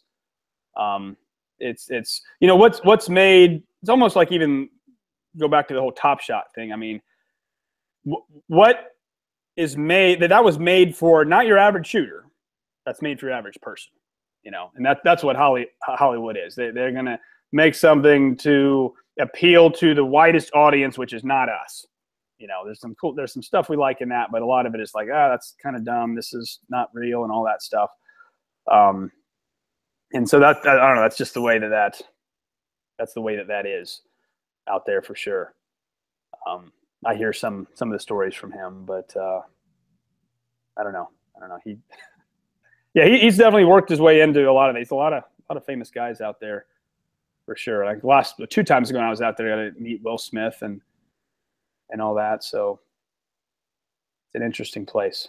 Yeah. Wasn't Will Smith shooting a Roland variant in the Suicide Squad? I'm not sure. I never saw it, and that's part of the problem. Is like I don't. I didn't watch that movie. I don't watch a lot of the non. I don't know. Some some of the, the movies are a little too goofy for me. But uh, I, yeah, I never saw that movie. I. Yeah. I like I like a movie where, like I could like where it could really happen, and I could watch it and like imagine myself being that guy in there. When it gets too much fantasy, all that stuff, it just to me that doesn't interest me. But that's that's kind of a little more Taran's thing. I, I think that might be why you're where you're at with guns and I'm at where I'm at. Well, it's I yeah, I, I I don't know. I uh I just I guess I'm kind of a kind of a realist. I I, I laugh and all that, but I'm not a I'm not like a super lighthearted guy. I don't I don't like I don't know. I just I can't get a lot of interest in something that is just like I know that can never happen. I want to watch something that could really happen. That's just me.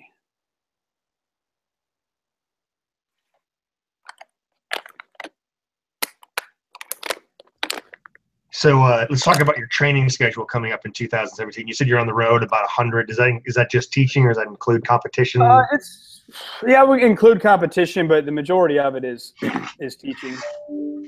Uh, I, I can't remember. I didn't have an exact count last year, but I, know it was yeah, well over 100 days um, on the road doing everything. A lot of uh, the open enrollment group group classes are more obviously on the weekends. We're gonna have a class, get people to sign up for it. It's gonna have to be on a weekend. Mhm. Um, unless it's a cop class or military contract, something like that. Now that'll be more in the week. So I'm I'm traveling a lot for those, and then I just I do a lot of uh, private stuff at my basically my range in my backyard.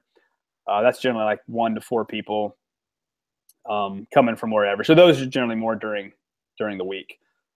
Uh, but yeah, so been getting getting a number of things on my on my calendar for next year, and it's it's it's been pretty steady though. I tell you, for five years now that I've been doing this full time, it's it's been pretty steady. Ab- so, um, have you published your 2017 schedule yet? I have on my website um, all the open enrollment classes on there so far. So, which is again not nearly all what I'm doing. A lot, a lot of the privates, which are obviously not on a schedule, and then I've got some that are um, not open enrollment. Mhm. So those aren't on there. But the open enrollment classes that people could sign up for throughout, you know, wherever they are in the country are, are on there now. And I'm, I'll be adding more of those uh, in, in the coming months as they come along. I, I, I- so I'm in Northern Virginia. You taught a class out in Echo Valley. I missed that because of business Okay. travel. you plan on coming out in 2017 again, or? Yeah, I mean, I, would like to. It's it's all kind of where they get set up. I mean, I'll, I'll go anywhere that uh, that a class can be put together. So I, I, know I've done. I've been there quite a bit there in Echo Yeah. Valley. Yeah. So if something gets set up out there again, then yeah, I'm all about going back. And you recently and you recently got on with some kind of a service for this. What's that? Oh, you recently on with some kind of a service with setting up courses. Yeah, with you guys. Oh, yeah, that's right. Yeah, waiting for you guys to give me some more classes. Yeah, yeah, I, I got the one from uh, yeah in March uh, through Shockey in I- yeah in Texas out in March, and then So Scott, this is what you do. Send me an email. Tell me what you have for a range. Tell me what course you want, what dates. We'll set it up. Oh, yeah, I'm gonna. We'll start working on. We'll start working on that. It won't be Echo. It'll be more in Northern Virginia. I'm working on some stuff with uh, Jose Gordon. I hope I can say that out. You know, um, he's got a range out here between me and Leesburg and Winchester. That's got a. That's got some good places. So we're working on that. Um, love to have you out, Bob. Uh, I think we're gonna work on uh, getting Nona out here. Uh, Okay. Doing a couple of things. So, um, what's a good class size for you? Where you're like, uh, that's good. That's not enough. That's too many. Uh, I mean, generally somewhere. I, a lot of them like in the in the say twelve to fifteen range. I mean, I, I've- can do a, few more. Pretty much anywhere I've had them from.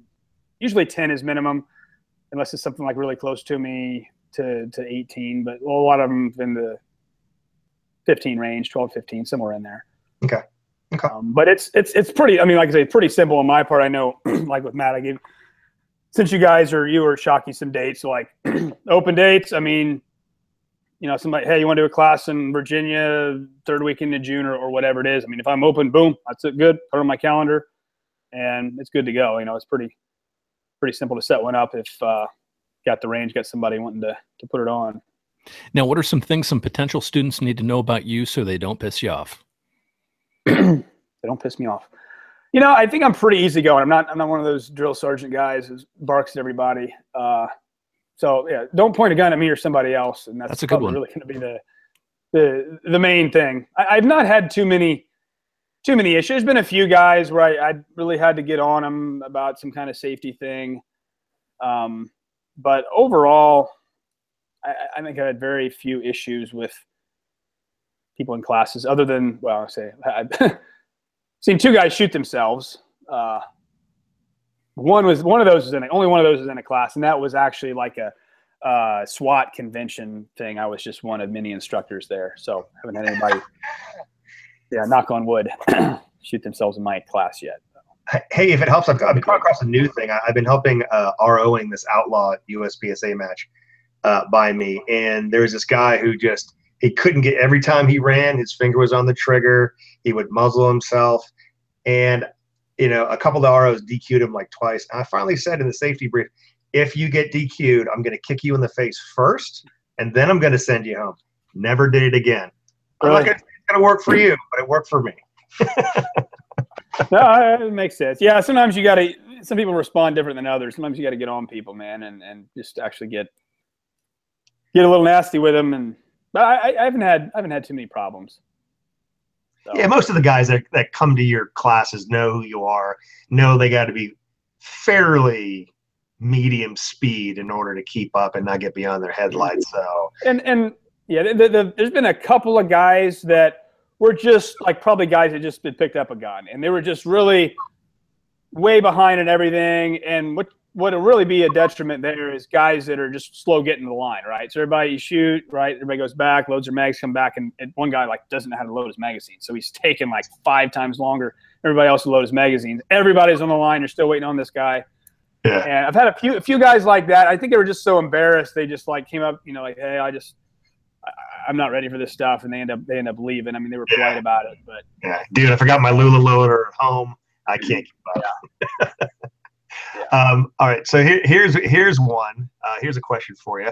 Uh, one of the guys wants to know uh, what are some drills that you can explain that will help people reinforce shot calling.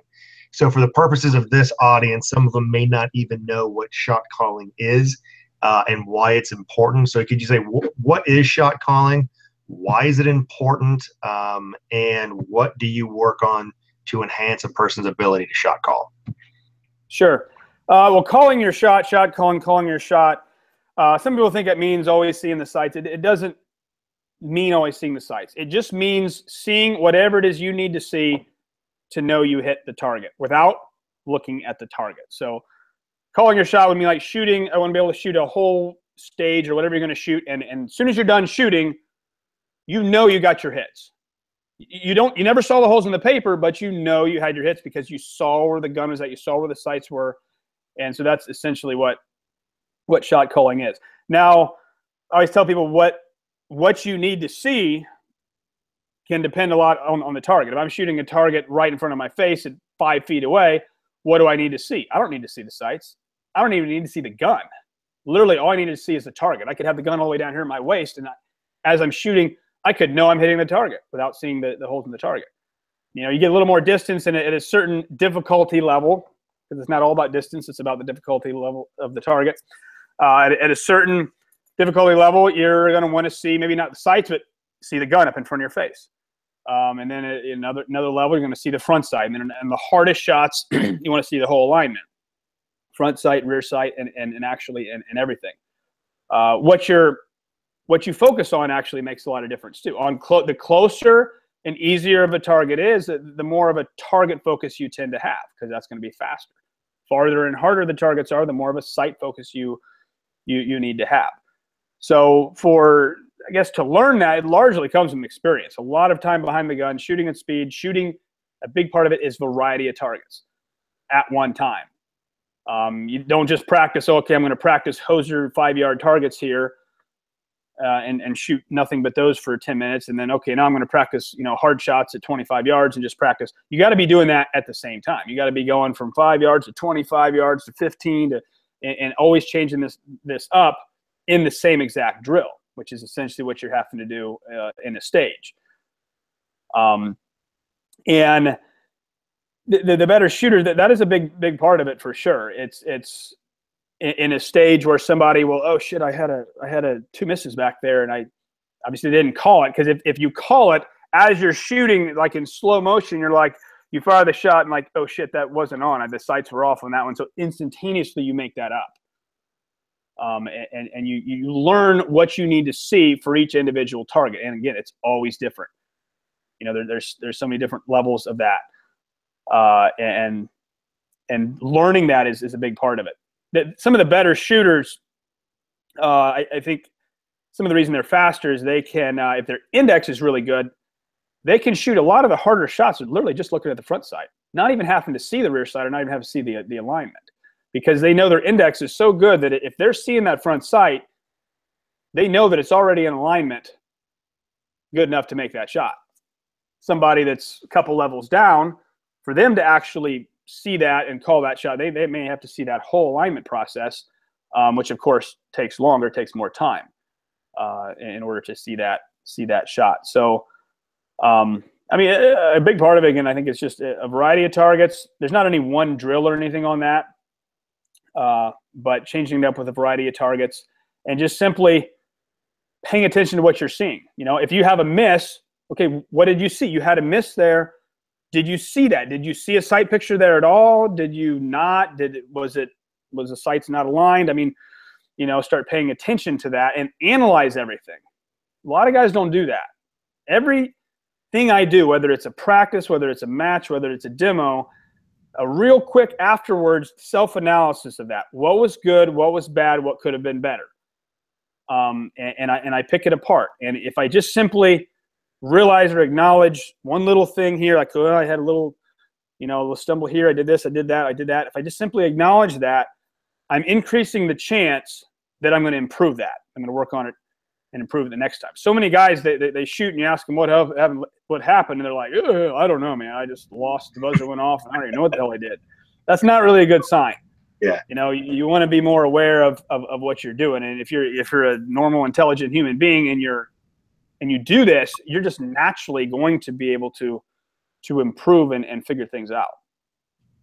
So um, one of the key words you said there was uh, analysis after you're done shooting. And, and tell me if i'm off track here.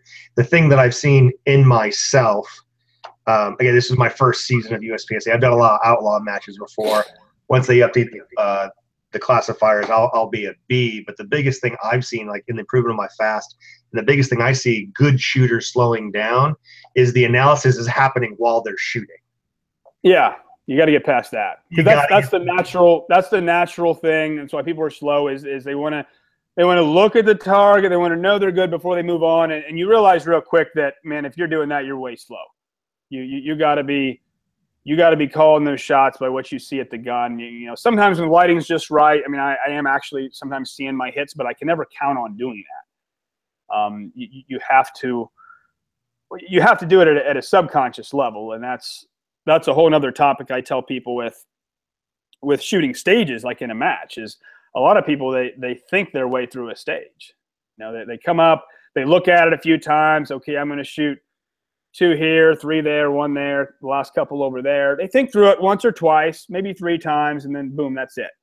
And then they wonder why when they're shooting, they're having to shoot, and then okay, I'll go over here now, and I, I uh, they don't have it programmed. The better shooters don't do that. They already have it mentally programmed in their mind. They've ran it through it enough that they're they're operating on a on a subconscious level. It's it's they, they've rehearsed it visually in their mind as they would see it behind the gun so many times that they're just almost on autopilot. Uh, because the, the, that subconscious mind is, is just so much faster than the conscious mind, and that's um, one of the reasons that the better shooters are so much faster. Not only just pulling the trigger faster, but actually movement. The, the, the, the pauses in between the positions um, are is less, and it can be complicated. A 32 round course where there's all these targets, different positions, and having that be so programmed in your mind that there's zero hesitation. That's that's tough, and that takes a practice and experience. trusting yourself, trusting the sights is, is a very large hurdle for someone. And what I see is even with red dots, where, you know, in my opinion, the red dot just gives you more information. Doesn't solve anything else, but it makes it easier to read more information because it's one focal plane as opposed to three, right? But it Yeah. gets it gets worse with the red dot, right? Where I see people with red dots, they'll come up and they'll put the red dot on, they'll confirm, they'll reconfirm, push the trigger because there's so much information there for me. It's like they Yeah. have to confirm it three times, and then recoil happens, Yeah. and then they have to reconfirm and then go. Because it seems like it's moving so much more. You see so much more movement in a dot, and they're like, "Oh my gosh!" It's like, and so many guys, it- it's got to be perfect. It's got to be right there, and they're they're slowing down way too much for that. They're they're not learning what you know what an acceptable sight picture is, and some of that too in competition is is learning the scoring system and the balance of accuracy and speed. A lot of guys don't know if you ask them how much are you penalized for shooting a C instead of an A. You know, they say, well, two points. Well, okay, I don't care about the points. How much time is it costing you? Right. If you shoot a C instead of an A, and they have no idea. Right. You know, so you have to you have to understand the math and all that, and and understand it, it's it's a balance, and that's what the better right. guys do too. Is they're they're understanding all that. Those are the production guys going boom, boom, boom, boom, boom, boom, boom, boom boom, because they're trying to make Yeah. everything up and be perfect. Meanwhile, five seconds later, you know, Yeah, yeah. I mean, it's it's generally yeah. You're losing production, minor, off the top of my head, average hit, hit factor. You're losing a third of a second for a C. That's that's about what you're using. It's it's so a lot of guys. Oh, I, I made it up. Yeah, you, you took like three quarters of a second to make it up. It's not worth it. You actually had a worse score for doing that, and they don't understand that because it again always comes back to the score. People ask me all the time. They're like, "Do you? I should I should I go faster and maybe give up some more hits, or should I go slower and be more accurate?" I always have the same answer. What gives you the best score? You know, shoot something three or four times and your normal way, right? Do the score. You want to go faster? Go faster. Is it giving you a better score though? Go slower, be more accurate. Is it giving you a better score? You know, simply pay, take a little bit of time, do the math.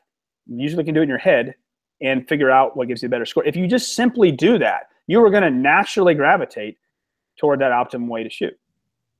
And it's it's it's that simple. But again, I don't. Some people I don't think do that. and you're so accustomed to it. And, and, and tell me if I'm wrong about it. When you hit a D and you shut and you call your shot, you know you hit a D and you're doing the math to make it up. I mean, a D you're probably going to make up, right? If you're right there, but you're Well- doing the math in your head, calculate. Well, it, it all depends because I shoot D's and misses like anybody else. But if it all depends on how quickly, because you realize you made a bad shot. Because sometimes you you like as you're pulling the trigger you know the gun's off and you you so you immediately can make it up with zero hesitation. Other times you made a made a bad shot and you're pulling out of position before you even realize you made a bad shot. Um, in that case making it up stopping setting up shooting is not going to be worth it unless maybe it's a miss because it's almost always you know worth it to make up a miss. Um, but there's so many factors there and, a time frame, whether it's five hundredths of a second or half a second or anywhere in between or more. You know, that's all that that matters. A lot of a lot of guys they kind of want a black and white answer to a lot of things that there's not a black and white answer for. There's a lot of gray area and there's a lot of what ifs and circumstantial and it's it's not what they want to hear, but it's the truth. And you know, understanding everything is is yeah, it's, it's, it's a big part of it. Yeah, I mean, sometimes the most confusing thing is let people figure it out for themselves. You know. Uh, yeah. I'm, well, you never you never forget it when you figure when you figure it out for yourself. It takes longer, but you never forget it then.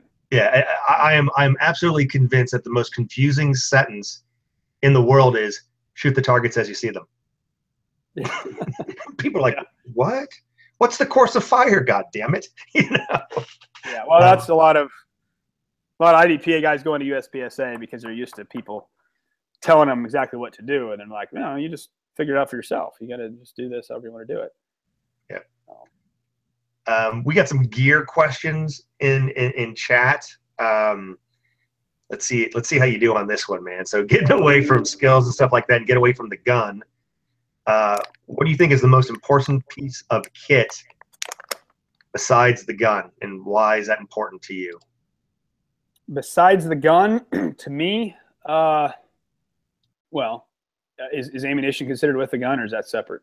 I think that's part of the gun. Okay. okay. So without, we can move sure. on. no. Oh, I mean, I guess probably the uh, probably the holster. I suppose. I mean, gear besides the gun.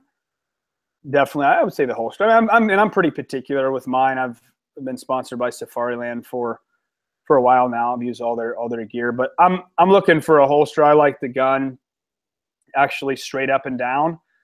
Um, this is straight up and down. Maybe actually with a little bit of a of a rearward cant.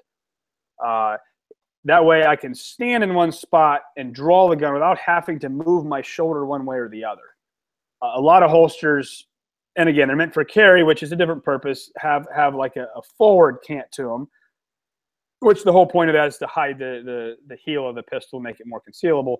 It's usually harder to draw those. Usually to draw those, you kind of got to lean forward and, and grab the gun and move, just moving things you don't need to move that are going to throw you off and, and slow you down. Uh, so I see a lot of guys, a lot of beginners with more of those kinds of holsters, which again, it'll work. It's just you're going to be a little bit slower. So that's what I'm looking for, something straight up and down, a little, little bit back.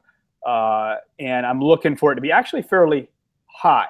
Believe it or not, I wear all my guns um, in the same spot, whether I'm carrying concealed, whether I'm on duty as a cop, whether I'm shooting any of the competitions. The gun's always in the same spot.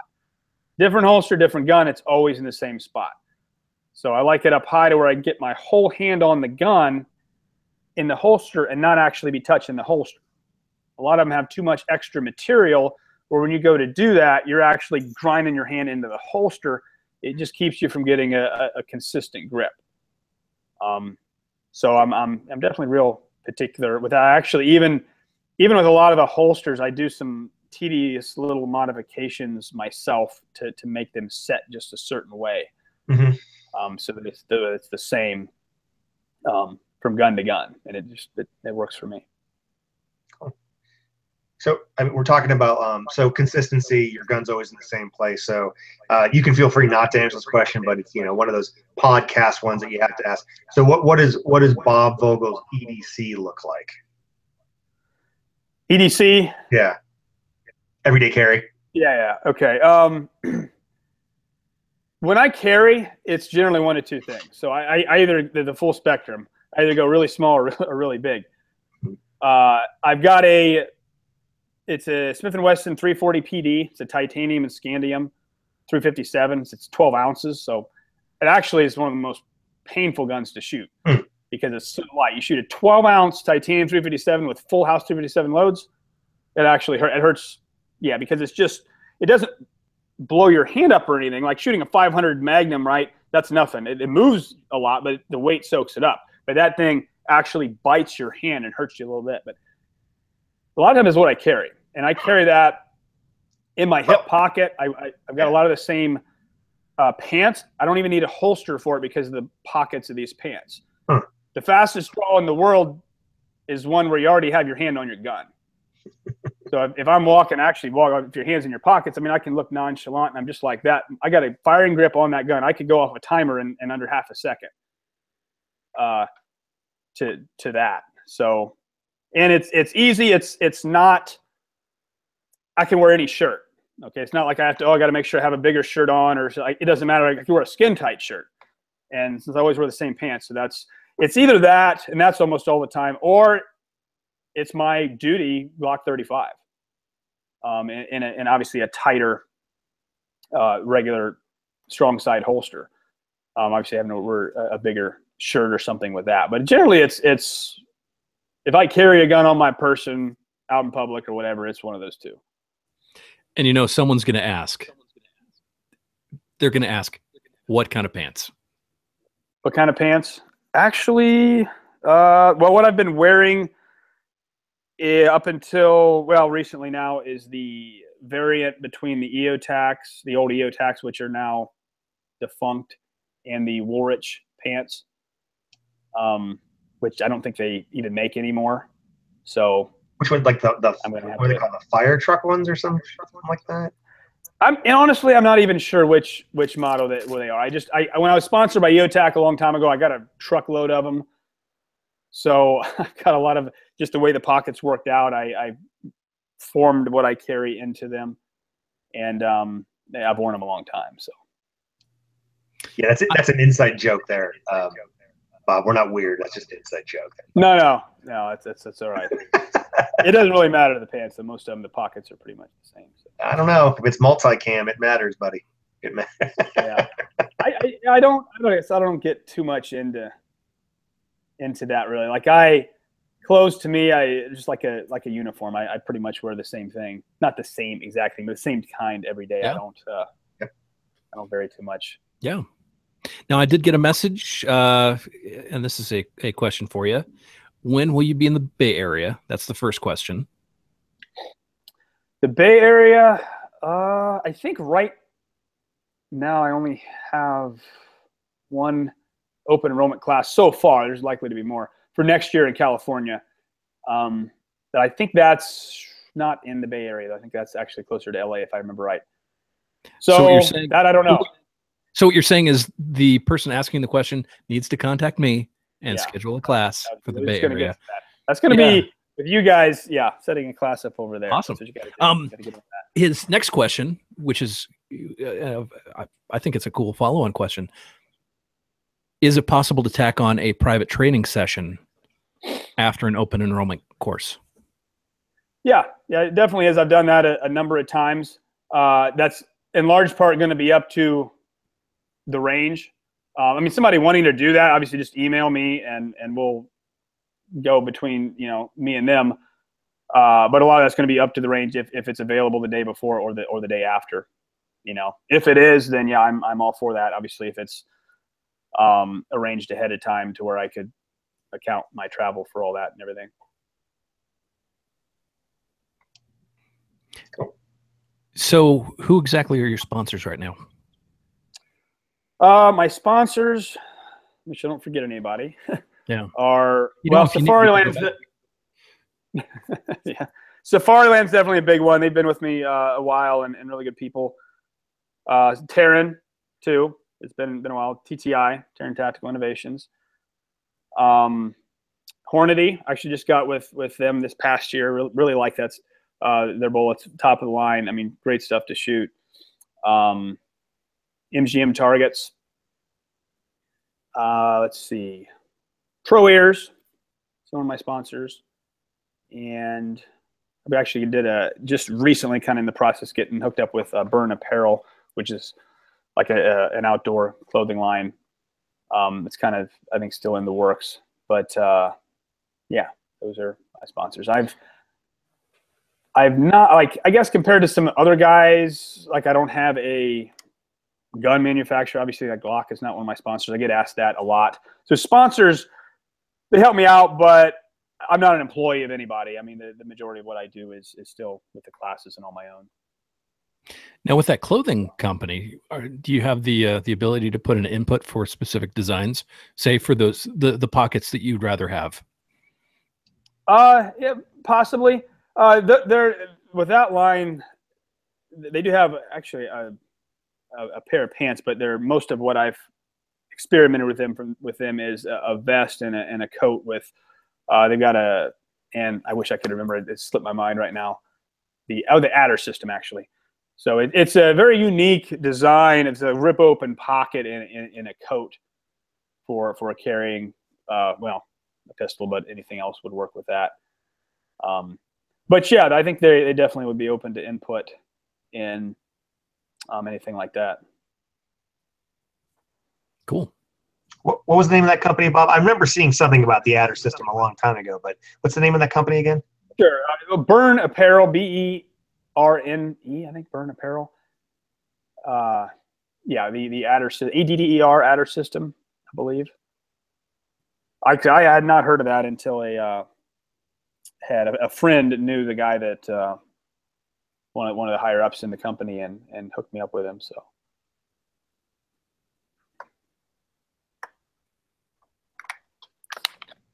Well, should we start wrapping it up? We should. Um, I, I, got one. There's one more question that's kind of interesting though before we start wrapping it up though. So, um, anything from uh, red dots on long guns to red dots on uh, on pistols, you know, all the things, um, canted uh, uh, mag pouches, competition influencing mili- uh, military LEO and the civilian shooter. Well, what do you think is the next big crossover from competitive shooting into the uh, to the duty or uh, civilian armed civilian world? Hmm.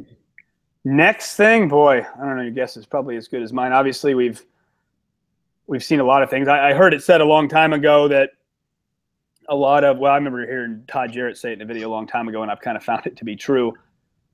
That uh, in general, the law enforcement military are about 15 to 20 years behind the learning curve on some things. And not not trying to, to, to knock them on that, but yeah, that's uh, a lot of how it has happened. Even going back to like the way we grip the gun with the thumbs forward, isosceles type grip that that now 2016 is is pretty much the way people do it. Most people, uh, but that that was invented like in the 80s by IPSC shooters, and mm-hmm. and I even when I went through the academy in 2001, I don't think it was widely taught really even at that time.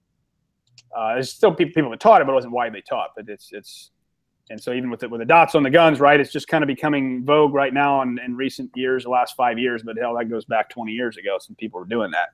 So the, the, next thing, though, I, I, mean, I don't know. I don't know. I, I, I wish I could predict that. Just um, training, probably. Just training. Yeah, I, I, guess because the information, more information is out there now. I mean, even just when I started competing 15 years ago, there's so much more out there. Your average guy can just go on Google and YouTube and and, and find so much more. And and and I think I think people are going to, on average, among law enforcement agencies or whatnot. I think people are getting out now and going to more classes as as, a, as opposed to only being with their department instructor. Uh, obviously, I think it depends department to department, but it's it's more of a global world, and the information is there, and and people aren't as isolated as they used to be.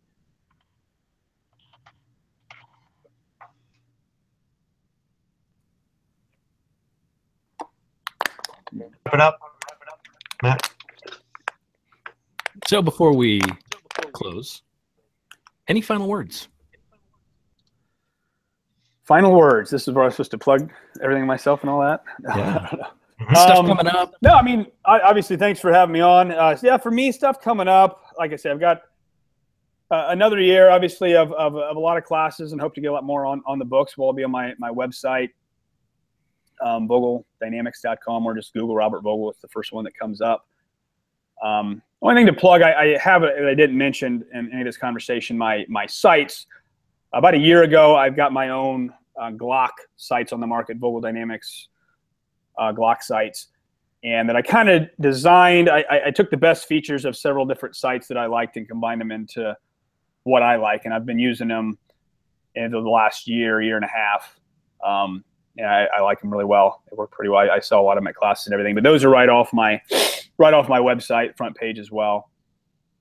Um, but yeah, I, am not uh, not really one. I'm not. I'm probably not the greatest salesman in the world. I'm not really like go out there and, and get people to buy stuff. Like I mentioned stuff, but it's just I, I'd be a terrible door to door salesman. I don't like asking people for stuff.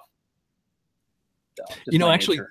actually, that does bring up a, a question I'd, I'd be interested in hearing, um, or the answer to.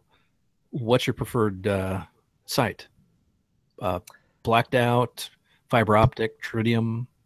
Yeah, well, I mean, what first off, with the with the tritium or night sights, I have found, believe it or not, to surprise to some people, I'm not the biggest fan of night sights, and I've proven that to myself by shooting a lot in the dark. Uh, I've shot a lot in the dark. If you're going to shoot at something in the dark that you cannot see, and you're going to shoot at it in total pitch black, I'm not night sights. There's something to them, right? But the reality of it is, in a, in a defensive situation, you're probably going to want to see something, or what are you what are you shooting at? So when you have a little bit of light, low light, if you don't have any light, you're gonna have a flashlight, right? So whether they have a flashlight or they're shooting a little bit of low light, you're gonna have enough light to see something of the target.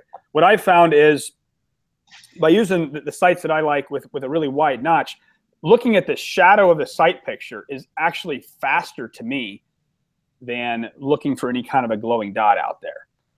So with with my sights, what makes them different from a lot of them is their regular notch and post sight, which everybody knows what those are. But the rear notch, it's wider and it's deeper. Um, usually, I would say noticeably wider and deeper than most sights. So what that does is it gives you a lot more daylight or a lot more space around the front sight. That equates to being able to see it faster at speed. Um, that's something I didn't really touch on too much, but speed of vision is a huge thing in, in, in all this. And speed of vision is different than good vision. Having 2020 or 2015 vision, that doesn't necessarily help you shoot any better. It's having speed of vision, being able to see fast. Uh, the only way we get that, I think, is by looking at something uh, that's very fast, almost faster than what, we, than what we can see. But when you look at it long enough and hard enough, you actually start to be able to pick up more of it. It's just like a, a major league baseball player being able to see the seams on a 90 mile an hour fastball when most people just see a blur of white. They can do that because they've seen it thousands and thousands of times. Uh, there's a lot of good shooters, uh, regular shooters, but if, if they have not shot at speed, shooting fast, four or five, six shots a second, a lot over time, they're probably not going to be able to see that fast. Um, but the, the, the, sights when there's that much more daylight around that front sight it just equates to being able to see that. When that sight is in recoil and it's just coming back and forth you know at, at that kind of speed it makes the difference between seeing it and not seeing it. Um, especially on on on like steel or, or, or, transition targets. When you're dumping a bunch of rounds on one target you don't have to see as much. But when you're when you're just going across a bunch of targets and just shooting one shot on each uh, you have to be able to see. If you're going to be consistent you have to be able to see that front sight like a little bouncing ball just bouncing on and off of targets. Uh, and it, it, made a big difference. A lot of guys have got the, the, the wider notches, and everybody was was paying attention to how wide or what the measurement was and the width of the notch. I never heard anybody talk about how deep it was. So I, I actually made mine the same width. It's a 0.15 wide rear, but it's actually a little bit deeper too. So it, it just gives me a little more vision, and I, I truly do think I, I notice a difference um, with that and, and, and being able to call your shots because you're, you're running at a fast speed and that's sometimes we all do it. We just, you, you go and just, oh shit, you just, you just lost it. And, and before you know it, you just fired three or four shots and you didn't really see what you needed to see. You didn't really see your sights. And so, uh, by by doing this, you know, with the, with the right sights, it can definitely help that. I never really thought that. A lot of people are not at the level probably they'd even even notice. I, I, remember going back 10 years when, when Sevigny gave me some of his and I didn't think much of it. And I remember I just, I had some regular Dawsons with a really tight notch and I, I put his on and started dry fire. And I'm like, oh my gosh, this is such a difference. I can just see I can transition so much faster. So I, I think the better of a shooter you are, the more you would notice a difference for that. But again, it's it's it's it's speed shooting. If you're one of those guys, go to the range, you're going to stand there and shoot a bullseye in a good group, and you don't care about time. You know, that's that's probably not what you want. But if if it's more realistic speed shooting you're after, I, you know, that's what I use. That's what I recommend. That is cool. Um, so, so Bob, does, does yours have the same uh, stainless screw under the fiber optic that the Taran's does? Yeah, it's it's uh the the you talking about the front sight screw? Yeah, The Yeah, that's where the the light- sight. stainless and bounces up to the fiber optic. You know what I'm talking about? The Yeah, it's it's it's the same. It's the same screw. All those screws are the same. So, um, what I found with with the lighting is not even so much the, the screw, but how much of the fiber optic touches the sight. So Mm. the, the less the the of the, the sight that comes up and actually touches the fiber, the more light that you're going to get off Mm. of that. So consequently, the the the less that it touches, the more it could, could possibly break. But I, I- hardly ever break them. So, but uh, uh, one of the most important factors there is having, and mine and Taran are very similar, having the fiber be all the way at the top of, of, of the notch. A lot of the ones on I, older, whatever, sights, cheaper sights, whatever, the fiber, the top of the fiber is definitely below the top edge of the sight. You want it, you want them the same because guys get so fixated. They you got to know when the fiber, when to use the fiber, and when not to use the fiber. In my opinion, the fiber is there for closer, medium distance shots uh, because sometimes the gun's buck and it's going fast. Sometimes all you see is that little red flash. But on a hard shot, I don't use the fiber, and I don't think you should use the fiber because the lighting can vary and it can change. You always use the actual sight itself, you know, the top edge of the sight. And so a lot of guys, when they aim on a hard shot, they kind of they look at the fiber too much and they let that top edge of the front sight drift up high, and they they, they shoot high, and they, they blame it on the sight. It's not really the sight's fault. It's, it's the way they're looking at it. So that's that's something when you when you have that fiber all the way in the top, it, it's almost the same, and, and so you have less issues with with that happening. Makes sense. Um, I, I- I've seen your sights before. You know, I'm a big fan of those. Uh, even though I'm a red dot shooter, when I do shoot iron sights, it's always with fiber optics. I like Taran's. I, I like yours, guys. If you like fiber optic sights and you haven't uh, shot those with the with with the fiber optic being so high and that one set screw being stainless, collecting more light, it's uh it's nice. It's a great sight package. It really, really is, as opposed to some that are low and dirty. basically. Yeah. And you can with those fibers too. A lot of people you can you can adjust the fiber. I mean, you get a fiber optic rod doesn't don't cost very much. You, you can make them tiny to where they just kind of actually go inside the recess of the sight, or you can make a big glob so it takes up the whole thing. So you know you have some options there. Awesome. Cool. Anything else to pimp? Nothing else for me really. Oh, Next day I got my. Not that I can think of, man. I'm I'm not really one of those guys so much. Got my website, everything on there that I that I do that I'm after, and um, like I say hopefully get some more classes on the books and go out and obviously got some matches coming up next year. Try to try to hang in there and do what I can do there. But And the, and the website is trying to get better. vogeldynamics.com. VogelDynamics.com. Yep. Scott, what do you have? Uh, so uh, on December 12th, um, you know, the other have to pitch on December 12th, I am getting together with Honor Brewing Company and uh, Pazzo Pomodoro Italian Restaurant. It's going to be in Ashburn, Virginia. So if you're in the Metro DC area, want to come by, uh, we're doing a, uh, a fundraiser for Hero Homes. Uh, they basically build homes for deceased or critically wounded uh, veterans. Um, this one is for uh, specialist Stephen Mace. He uh, he was killed in Afghanistan in 2009. Uh, we're building a house for uh, his family. Uh, so this is a fundraiser for it. Uh, overwhelmed with vendors that have already um, contributed. Uh, Aimpoint donated a uh, T2 for the raffle. Uh, I called the guy. I said, "How much you charging for raffle tickets?" He's like, "I'm thinking like 15 bucks."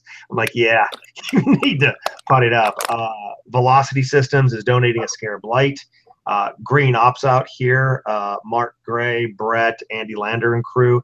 They donated uh, two classes uh, for an individual. Um, I'm donating uh, five hours of instructions. Uh, for those people that don't know, I teach people basics how to shoot straight, do manipulation. So you can go to classes like with Bob Fisher, Jaques, Noner, blah blah blah, and not get too beyond your headlights on on training day one. But uh, yeah, so December twelfth, Pazzo Pomodoro. It is a Monday from five to nine. Come out, have some great beer, some good Italian food, buy a raffle ticket, um, and uh, have a good time. Help a good cause. So that's what's going on with me. And just so you know, uh, when we cut the feed, we wind up staying on and kind of do a quick little AAR. Okay. Yeah. Um, sure. So yeah, thanks for joining us. This was really cool. I, I, I said a lot more than I anticipated. I had a lot more questions. No, no, no. Thanks for thanks for having me. Like I say, I always always like doing this kind of thing. It's it's uh just getting on there talking and whatever comes up comes up. So spreading the good thanks word. for having me. Um, yeah, trying to. oh, I, no doubt, no doubt. Um, and and yeah, reading comments and messages. Yeah, this is people have have really enjoyed this and they've learned a lot, and that's what's important. That's good. So, yeah, for sure. Yeah. So with that in mind, um, yeah, this is primary and secondary. You can find us at primaryandsecondary.com. We have a forum at primaryandsecondary.com slash forum. We have 736 different Facebook groups. We cover everything from preparedness to aircraft. We have a shot group talking about shot 2017, um, a professional group, you name it, we have it. We definitely have a com- competition group. Um, we have a lot of really cool people that participate, a lot of experience. So come and join us. Uh, just enjoy enjoy everything that we have to offer. We are also on iTunes, on Stitcher Radio, and Google. Um, we are releasing about 10 to 20 minutes of podcast material daily. On top of that, we have uh, instructional videos uh, that multiple members of our staff put together, which includes uh, Scott and and and Bill and and Tim. It's it's a good time. It's it's cool to be involved in this type of a thing. I think that should do it. I can't think anything else I need to say. So uh, we'll talk to you soon.